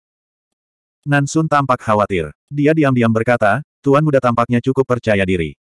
Tentu saja, Zuan dengan santai bersandar di kursinya. Dia mengangkat cangkir anggurnya sambil berkata dengan bangga, jika bakat sastra dunia terdiri dari sepuluh bagian, Zu yang rendah hati ini menempati delapan bagian, sementara orang lain membagi dua sisanya di antara mereka sendiri. Karena dia akan pamer, dia mungkin juga menjadi besar atau pulang. Bab 924 Seluruh tempat meletus menjadi keributan ketika Zuan mengucapkan kata-kata itu. Hanya beberapa orang yang merasa dia sombong sebelumnya, tetapi setelah mendengar bualannya, mereka semua mengira dia gila. Anda menempati 80% dari bakat sastra dunia sendiri. Seluruh dunia sepanjang sejarah berbagi 20% sisanya. Anda pikir Anda siapa? Bahkan seorang kaisar pun tidak akan berani berbicara begitu arogan, bukan? Bahkan Gao Ying dan Pei Yu mengangkat alis mereka. Orang ini benar-benar membutuhkan pemukulan yang baik. Bahkan kami ingin menghajarnya. Di lantai dua, mata Bi Ziang menyipit. Bahkan semua pamer yang telah dia lakukan sepanjang hidupnya digabungkan bersama tidak dapat dibandingkan dengan apa yang baru saja dilakukan Suan. Bagaimana ibu kota bisa mentolerir seseorang seperti ini? Tetapi dia harus mengakui bahwa apa yang dikatakan Zuan terdengar sangat mengesankan. Aku yakin itu akan terdengar lebih baik jika aku yang mengatakannya. Huff, aku harus mencari kesempatan untuk mencurinya dari adikku. Saya akan menugaskannya untuk menulis hal-hal yang harus saya katakan setiap hari. Saudara-saudara klan Qin saling memandang dengan cemas. Hanya setelah beberapa waktu Qin Guangyuan menghela nafas dan berkata, bukankah Cuyan gadis yang pintar? Bagaimana dia akhirnya mengambil seseorang seperti dia? Petik 2. Qin Yongde berkata sambil tertawa, Cuyan harus datang dan melihat apa yang dilakukan suaminya untuk dirinya sendiri. Dia mungkin mati karena malu. Yunan tidak terkejut mendengar bualan Zuan, dan malah merasa lebih baik. Lagi pula, apa yang terjadi selama ini benar-benar membuatnya terlihat buruk, dan hanya membuat Zuan terlihat lebih baik. Namun, bocah ini berani mengatakan kata-kata gila seperti itu. Itu setara dengan membuang semua yang baru saja dia kumpulkan. Seperti yang diharapkan, berikan orang miskin kekayaan mendadak dan mereka akan membiarkannya menguasai mereka, pikirnya. Namun, itu memberinya kesempatan untuk menebus dirinya sendiri. Itu benar-benar kata-kata yang berani. Yunan mendengus. Saya ingin melihat puisi luar biasa seperti apa yang bisa Anda buat untuk diri saya sendiri. Tepat ketika Yunan hendak menyampaikan topik, Zuan memotongnya dan berkata, karena ini adalah pertemuan yang diadakan oleh Nona Nansun, biarkan Nona Nansun memilih topiknya. Hah, aku, Nansun terkejut, tetapi juga senang. Dia tidak berharap dia memberikan tugas ini padanya. Terlepas dari bagaimana situasinya berakhir, itu akan sangat meningkatkan reputasinya. Zuan melihat sekeliling sambil tersenyum, bertanya, apakah ada yang keberatan? Tentu saja tidak. Nona Nansun berbakat dan cantik, saya yakin dia bisa memberikan topik yang bagus. Nyonya Nansun jelas merupakan pilihan terbaik untuk menyarankan topik. Yang lain yang hadir berjuang untuk memaksakan senyum. Mereka datang untuk Lady Nansun, jadi bagaimana mungkin mereka tidak menyerah padanya di sini. Pada saat yang sama, mereka mengutuk Zuan karena cara liciknya untuk mendapatkan perhatian seorang gadis. Zuan kemudian menatap Yunan, bertanya, ada apa? Mengapa Tuan Muda Yu tidak mengatakan apa-apa? Mungkinkah Anda khawatir, merasa bahwa Nona Nansun akan membantu saya menipu? Mata Yunan berkedut. Ini bahkan tidak melepaskan kesempatan ini untuk memprovokasi saya. Kamu pasti bercanda. Lady Nansun cantik dan murni seperti bulan di langit yang cerah, mengapa dia membantu Anda berlatih penipuan? Nona Nansun, tolong berikan kami topiknya. Dia sudah melihat ke latar belakangnya sebelumnya. Dia adalah seorang pelacur yang menjadi terkenal ketika Zuan berada di dalam penjara bawah tanah. Tidak banyak kemungkinan bahwa kedua belah pihak memiliki hubungan apa pun. Dia jelas tidak perlu khawatir tentang mereka berdua berkolusi melawannya. Kalau begitu aku akan dengan enggan menerimanya, kata Nansun sambil membungkuk. Dia berpikir sejenak, bertanya-tanya topik apa yang cocok untuk acara itu. Itu harus menjadi topik yang tidak akan terlalu merepotkan Zuan, tetapi juga akan menampilkan bakat sastranya sendiri. Bibir wanita misterius di ruang khusus itu bergerak. Mata Nansun berbinar, lalu dia berkata, The State Duke of Triumph memimpin pasukan besar kita ke utara untuk melawan ras iblis, jadi mari kita gunakan ekspedisinya sebagai topik. Qin Guangyuan mengungkapkan ekspresi terkejut. Dia mengangguk dalam hati, bergumam, tidak buruk. Saya tidak berharap seorang pelacur masih menyimpan pikiran patriotik. Petik 2. Yang lain semua menyuarakan persetujuan mereka. Mereka merasa bahwa topik tersebut sangat bagus dan sempurna untuk situasi tersebut. Begitu berita keluar, itu akan menjadi cerita yang bagus juga. Yunan juga mengangguk. Topiknya tidak terlalu sulit, tetapi menanganinya dengan baik jauh dari mudah. Ada puisi serupa yang dibuat sepanjang generasi sejarah yang berurutan, tetapi tidak ada yang merujuk pada dinasti saat ini. Dia menolak untuk percaya bahwa Zuan bisa melampaui ulama dari dinasti masa lalu. Tidak peduli puisi apa yang diciptakan Zuan, yang harus dia lakukan hanyalah merendahkannya. Jadi topik semacam ini, Zuan mulai berpikir sendiri. Apakah itu agak terlalu sulit? Nansun bertanya dengan prihatin ketika dia melihat perubahan ekspresinya. Tentu saja tidak. Ini terlalu mudah. Zuan terkekeh. Dia benar-benar mencoba memutuskan mana yang harus dia pilih. Setelah sekian lama, dia seharusnya tidak mengingat terlalu banyak puisi dunia lamanya. Tapi sekarang dia telah mencapai puncak peringkat ke-9, meskipun dia belum sepenuhnya memadatkan jiwanya, pikirannya menjadi jauh lebih kuat dari sebelumnya. Dia secara bertahap mengingat banyak hal yang hampir dia lupakan. Tidak lebih dari kesombongan yang tak tahu malu. Yunan mencibir. Dia tidak mengatakan apa-apa lagi dan hanya menunggu Zuan membodohi dirinya sendiri. Zuan menatap Gao Ying dan Pei Yu, bertanya, siapa di antara kalian yang lebih baik dalam kaligrafi? Tentu saja, akan lebih baik lagi jika dia menggambar sendiri kaligrafi yang indah. Sayangnya, dia memahami keterbatasan tulisan tangannya sendiri. Keduanya bertukar pandang. Gao Ying berkata, biarkan aku melakukannya. Dia sudah menebak pikiran Zuan. Meskipun ada kemungkinan mereka semua mengalami kematian sosial bersama, pria ini telah menyelamatkan hidupnya. Apa pentingnya hal itu? Nansun menatap pelayan di sisinya. Pelayan itu pergi dan kembali dengan kertas dan tinta. Seluruh tempat menjadi sunyi saat mereka yang hadir melihat ke arah Zuan. Beberapa dari mereka memiliki harapan yang tinggi, sementara beberapa dari mereka hanya menunggu dia membodohi dirinya sendiri. Ayo tulis judulnya dulu. Zuan terdiam sejenak. Judulnya adalah, Pedang dan Lagu, Spirited Ode didedikasikan untuk State Duke of Triumph. Saudara-saudara klan Qin terkejut dan tanpa sadar berdiri. Puisi ini sebenarnya adalah hadiah untuk kakek mereka. Mereka berdua akan mengolok-oloknya, tetapi sekarang setelah mereka mendengar judulnya, sikap mereka tiba-tiba berubah. Ekspresi mereka berubah serius, dan mereka mulai berharap Zuan akan menulis sesuatu yang luar biasa. Gao Ying telah bersiap-siap untuk menjadi orang buangan sosial selamanya, tetapi ketika dia mendengar gelar itu, dia juga mendapatkan kembali fokusnya. Dari judulnya saja sudah terdengar luar biasa, jadi karyanya sendiri mungkin tidak akan jauh-jauh. Pikiran serupa bergema di seluruh pikiran orang lain yang hadir. Bi Ziang, yang telah bersandar santai di kursinya, tanpa sadar duduk. Dia bahkan sedikit mencondongkan tubuh ke depan agar bisa mendengar pekerjaan Suan lebih baik. Yunan juga menelan dengan susah payah. Dia tiba-tiba menyadari bahwa dia mungkin menghadapi kegagalan menyedihkan lainnya. Suara Zuan yang stabil dan berirama bergema di seluruh aula. Dalam keadaan mabuk, aku menyalakan lampu untuk memeriksa pedangku, klakson perang bergema saat aku bangun. Daging panggang dinikmati di antara para prajurit, semangat tinggi saat instrumen yang kuat bergema. Di musim gugur, para prajurit bersiap untuk perang. Kuda perang berpacu dengan kecepatan kuda-kuda teratas, busur berdenting seperti guntur saat anak panah dilepaskan. Dengan pengabdian sepenuh hati terhadap misi raja, mereka bertujuan untuk merebut kembali tanah yang hilang, wasiat ditetapkan untuk meninggalkan warisan yang mulia begitu mereka meninggal. Namun sayangnya, rambut putih sudah muncul darinya. Satu. Pada awalnya, masih ada beberapa bisikan pribadi, tetapi segera, ruangan itu menjadi sunyi senyap ketika mereka yang hadir melihat orang yang membacakan puisi itu. Suasana yang keras dan serius memenuhi tempat itu. Mulut para penonton terbuka, seolah-olah mereka memiliki banyak hal untuk dikatakan, namun seolah-olah ada tangan yang mencengkeram tenggorokan mereka.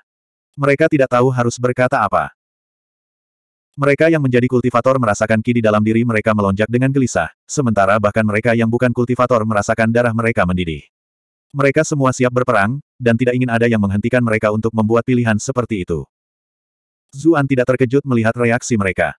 Sin Kiji, II, adalah salah satu penulis sejarah terbesar, dan Pedang dan Lagu, dikenal sebagai salah satu puisi dengan niat berperang terbesar sepanjang sejarah.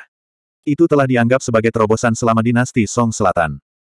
Meskipun keterampilan bela diri dunia ini berkembang, literaturnya kurang. Puisi Sin Kiji pasti akan meninggalkan dampak yang mengguncang dunia di bidang puisi.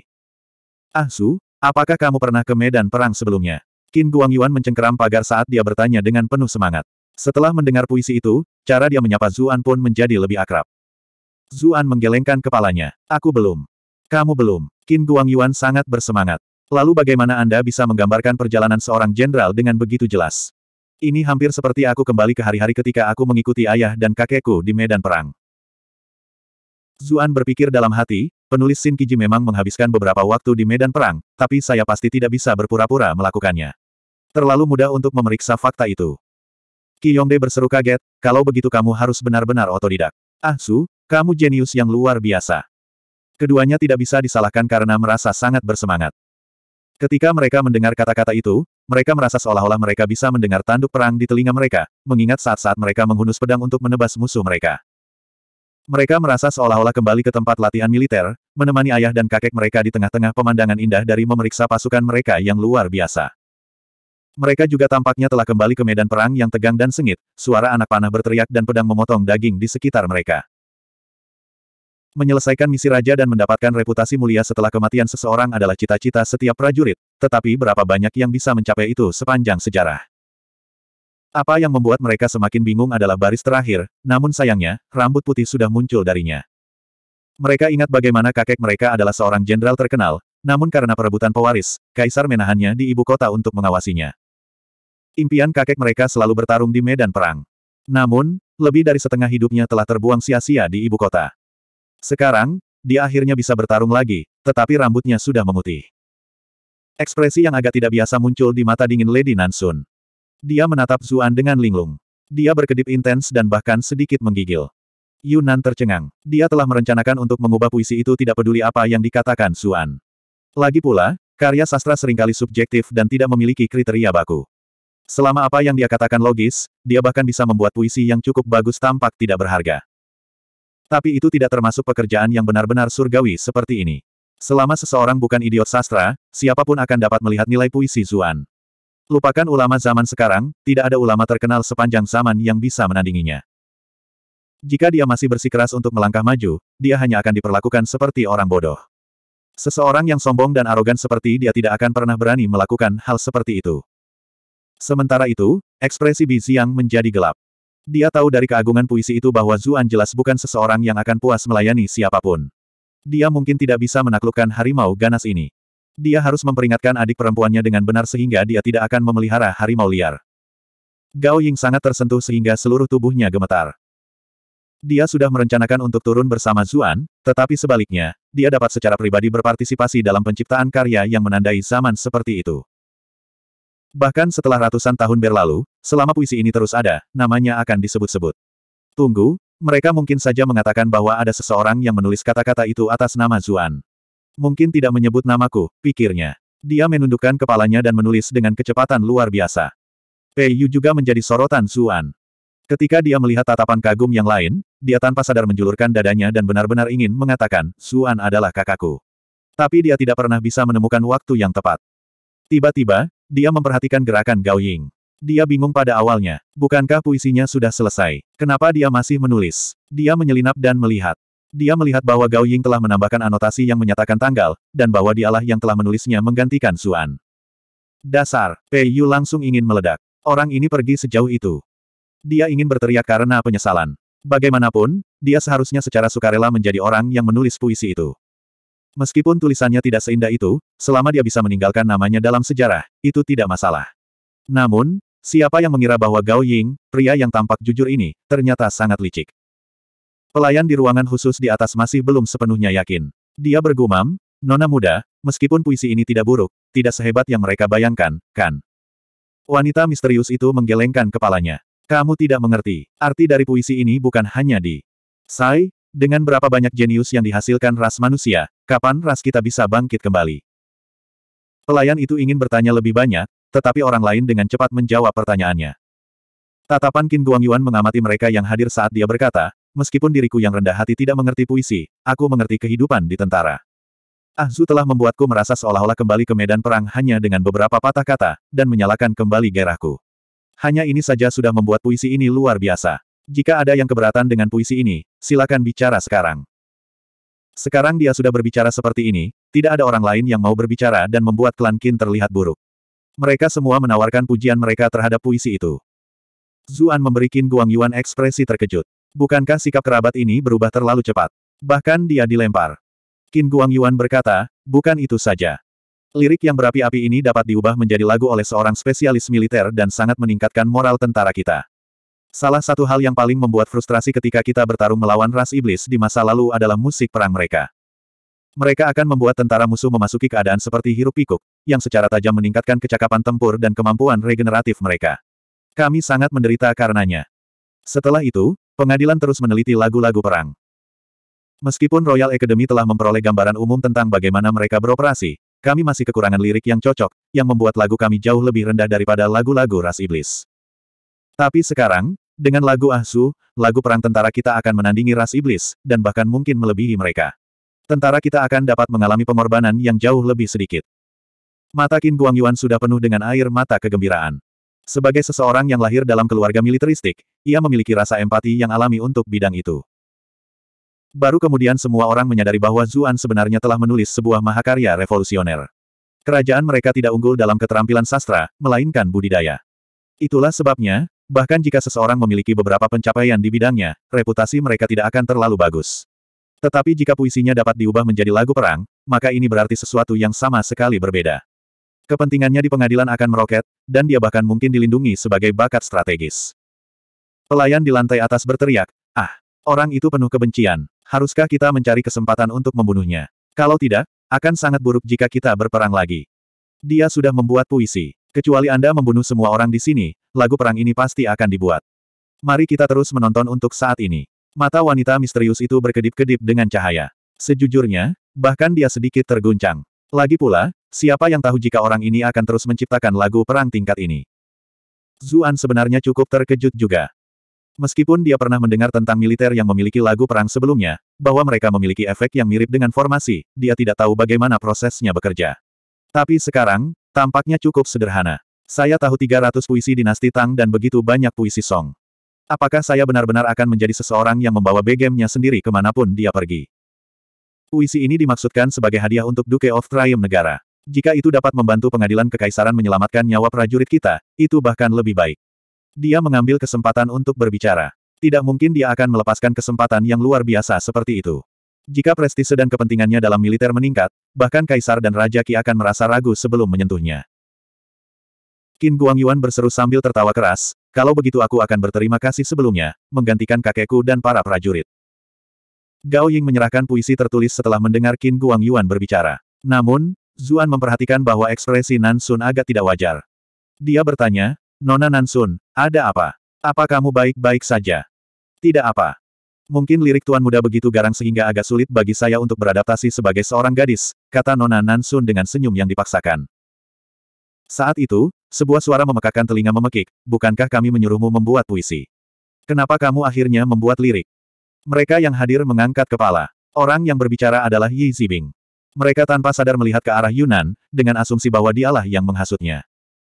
Ekspresi Yunan pucat, dan dia tidak mengatakan apa-apa. Meskipun kecerdasan Yi Zibing agak rendah, dia tampaknya telah memberikan pergantian peristiwa yang menarik.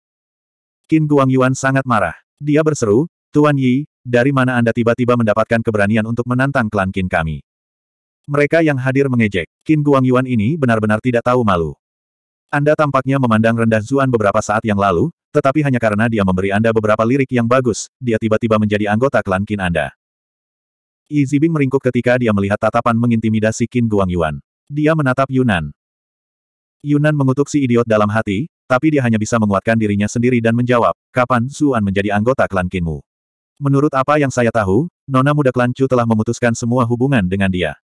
Selanjutnya, bahkan jika mereka masih menikah, hubungan Nyonya Chu dengan negara Duke of Triumph juga terputus. Karena itu Zuan tidak dapat dianggap sebagai anggota klan Qin Anda sama sekali. Petik 2. Qin Guangyuan mengerutkan kening. Yunan, meskipun kamu memiliki beberapa kekurangan yang mengganggu dalam kepribadianmu, aku masih menganggapmu sebagai orang yang terbuka dan jujur yang akan mengakui kehilanganmu. Bukankah memutarbalikkan kata-kata dan logikamu seperti ini terlalu berlebihan? Yunan tersenyum dan berkata, saya akan mengundurkan diri dengan anggun di bidang pembacaan puisi. Tuan Muda Zu memang luar biasa. Yang lain mengangguk dalam hati, berpikir, memang, Yunan masih memiliki integritas. Tapi sikap Yunan dengan cepat berubah saat dia melanjutkan, tapi dia hanya mengaku memiliki 80% dari talenta dunia, jadi persyaratan kita untuk dia jelas harus berbeda. Kami setuju baginya untuk membuat puisi, namun itu menjadi sebuah lagu. Saya merasa ini sedikit mengecewakan, bukan? Mereka yang bersahabat dengan Yunan menyuarakan persetujuan mereka. Yang lain tidak peduli jika drama itu lepas kendali, karena mereka tidak ingin melihat Zuan mengembalikan kecantikannya. Mereka juga ikut-ikutan. Qin Guangyuan mengerutkan kening. Tapi Zuan memang terlalu membual barusan, jadi dia bahkan tidak bisa berbuat banyak. Dia hanya bisa menatap Zuan dengan pandangan bermasalah. Zuan tertawa dan membalas, bukankah kita sudah setuju bahwa begitu saya membuat sesuatu yang lain, Anda tidak akan terus mendorong masalah ini. Namun sekarang, ada semua mengat yang mengganggu ini beterbangan. Jika saya membuat satu lagi, Anda akan terus pilih-pilih. Kapan itu akan berakhir? Yunan berkata, saya bersumpah atas nama keluarga saya bahwa selama Anda dapat membuat puisi lain dengan tingkat yang sama untuk menenangkan semua orang, saya tidak akan berani mengatakan sepatah kata pun. Kalau tidak, saya akan menulis nama belakang saya sejak saat itu. Petik 2. Ekspresi para penonton berubah serius ketika mereka mendengar sumpah Yunan. Menggunakan nama keluarga seseorang dalam sumpah bukanlah bahan tertawaan. Jika dia benar-benar kembali pada kata-katanya sesudahnya, seluruh dunia akan berbalik melawannya. Zuan juga cukup terkejut, tetapi dia bereaksi dengan cepat. Karakter Yu di dunia ini spesial. Bukankah itu sama bahkan jika Anda menulisnya mundur? Bi Ziang tertawa terbahak-bahak. Kakak Yu, bukankah kamu terlalu mengganggunya? Akan sangat menakjubkan jika seseorang hanya menghasilkan satu karya pada tingkat itu dalam hidup mereka. Bukankah memintanya untuk membuat puisi lain dengan level yang sama murni menyebabkan masalah? Dia terdengar seolah-olah dia berbicara untuk Zuan, tetapi dalam kenyataannya, dia memiliki motif tersembunyi. Jika Zuan benar-benar menolak Yunan, klaimnya untuk memiliki 80% dari semua bakat sastra di dunia akan menjadi pidato yang menghujat. Zuan menghela nafas, berpikir, kerabat masa depanku ini semuanya sulit untuk dihadapi. Tunggu, mengapa ada begitu banyak calon mertua di sekitarku? Dia berkata sambil tersenyum, saya tidak benar-benar ingin memberi perhatian lebih kepada orang-orang tertentu, tetapi niat membunuh dari lagu sebelumnya agak terlalu kuat dan saya akhirnya menakuti Nona Nansun. Kalau begitu, aku akan membuat satu lagi untuk Nona Nansun. Ekspresi wanita misterius itu menjadi gelap. Dia mengambil item tertentu, dan matanya bersinar dengan niat membunuh. Jika dia membuat lagu serupa lainnya, klannya akan benar-benar selesai. Bahkan jika dia harus mengambil risiko mengekspos dirinya di sini, dia harus menghilangkan bencana besar ini untuk klannya. Bab 925 Pei Yu bergegas mendekat dan meraih tinta dan kertas di tangan Gao Ying. Biarkan aku menulisnya kali ini. Dia telah melewatkan kesempatan untuk meninggalkan namanya dalam sejarah, jadi tidak mungkin dia membiarkan kesempatan itu lewat lagi. Dia dan Gao Ying adalah orang yang paling percaya diri pada Zuan. Ketika dia mendengar Zuan berbicara dengan sangat percaya diri, dia tahu Zuan akan menciptakan sesuatu yang hebat lagi. Gao Ying dengan cepat menarik kembali pena dan kertasnya, berkata dengan waspada, tulisanmu bukanlah sesuatu yang istimewa, jadi biarkan aku yang mengurusnya. Kalau tidak, kita mungkin akan merusak puisi luar biasa saudara Su. Aku, wajah Pei Yu memerah. Dia ingin membalas, tetapi dia tidak tahu harus mulai dari mana. Karena itu, dia hanya bisa tetap tak berdaya dan kesal. Namun, tiba-tiba dia memikirkan sesuatu. Dia meraih lempengan tinta dan berseru, biarkan aku membuat tintanya. Gao Ying terdiam. Anda benar-benar sesuatu yang lain. Yang lain juga tercengang. Kedua anak bangsawan ini benar-benar badut. Mereka benar-benar melangkah sejauh itu dalam bootlicking mereka. Namun, mereka tahu bahwa jika mereka berada di posisi itu, mereka mungkin juga memperjuangkan kesempatan untuk meninggalkan nama mereka dalam sejarah. Tapi sayangnya, mereka tidak terlalu mengenal Suan, jadi mereka bahkan tidak bisa menawarkan bantuan mereka sendiri. Wanita misterius di lantai atas mengerutkan kening. Kedua pria itu bergerak dan berdiri di jalannya. Ada banyak pembudidaya kuat yang hadir juga, jadi jika dia gagal pada upaya pertama, mungkin tidak ada kesempatan kedua. Setelah ragu-ragu, dia memutuskan untuk segera mengambil tindakan. Tidak mudah baginya untuk sampai ke tempat dia berada di ibu kota. Jelas akan bagus jika dia bisa menghilangkan malapetaka ini untuk rasnya, tetapi jika dia gagal dan akhirnya mengekspos dirinya sendiri, keuntungannya tidak akan menggantikan kerugiannya.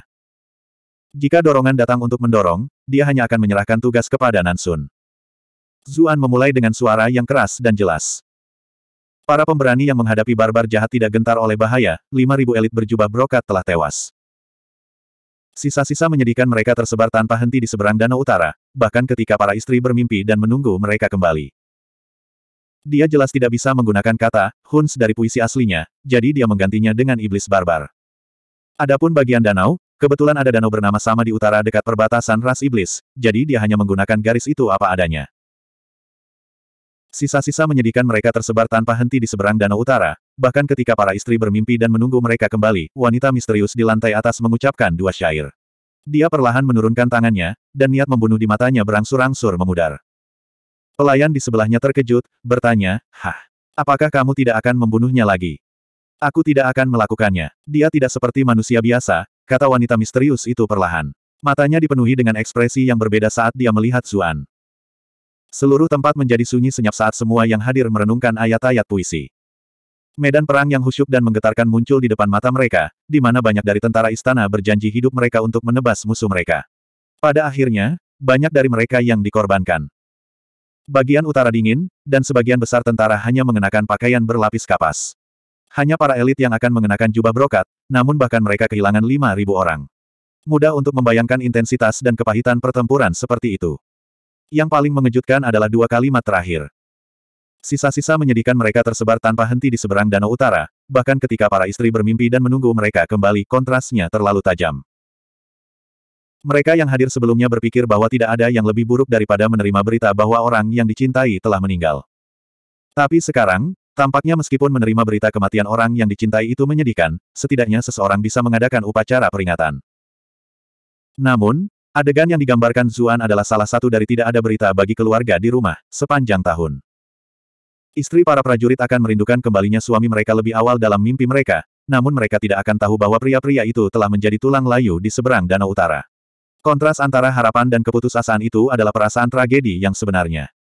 Mereka yang hadir merasakan gelombang perasaan yang kuat di dalam diri mereka.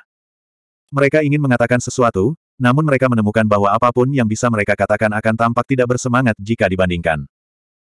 Mata Lady Nansun memerah, air mata mengalir di wajahnya saat dia melihat Zuan. Dia berkata, Tuan muda, kamu terlalu tidak berperasaan. Jika itu terjadi di lain waktu, Pei Yu akan diliputi kecemburuan setelah melihat Dewi mimpinya memandang pria lain dengan cara itu. Tapi sekarang, dia malah menerimanya dengan sepenuh hati. Bagaimanapun juga, kakak besar Zu memang tangguh. Tapi dia lebih peduli tentang hal lain. Dia dengan cepat pindah ke sisi Gao Ying. Benar saja, Gao Ying telah menambahkan namanya sendiri. Mata Pei Yu melebar saat dia bertanya, bagaimana denganku? Gao Ying merasa sedikit bersalah, jadi dia menambahkan kalimat lain yang mengatakan, tinta digiling oleh Pei Yu. Kekesalan Pei Yu berubah menjadi kebahagiaan. Dia akhirnya berhasil mencapai kertas itu. Ekspresi Biziang berubah beberapa kali. Anak itu sebenarnya menakutkan. Syukurlah itu hanya di bidang sastra. Aku seharusnya masih bisa mengendalikannya. Benar. Namun, dia tidak lagi memiliki kepercayaan diri yang sama seperti sebelumnya. Di sisi lain, ekspresi Yunan memucat. Seluruh tubuhnya bergetar tak terkendali. Dia tidak pernah menyangka bahwa anak ini, yang baru saja dianggap dari jalanan, akan memiliki kecakapan sastra seperti itu.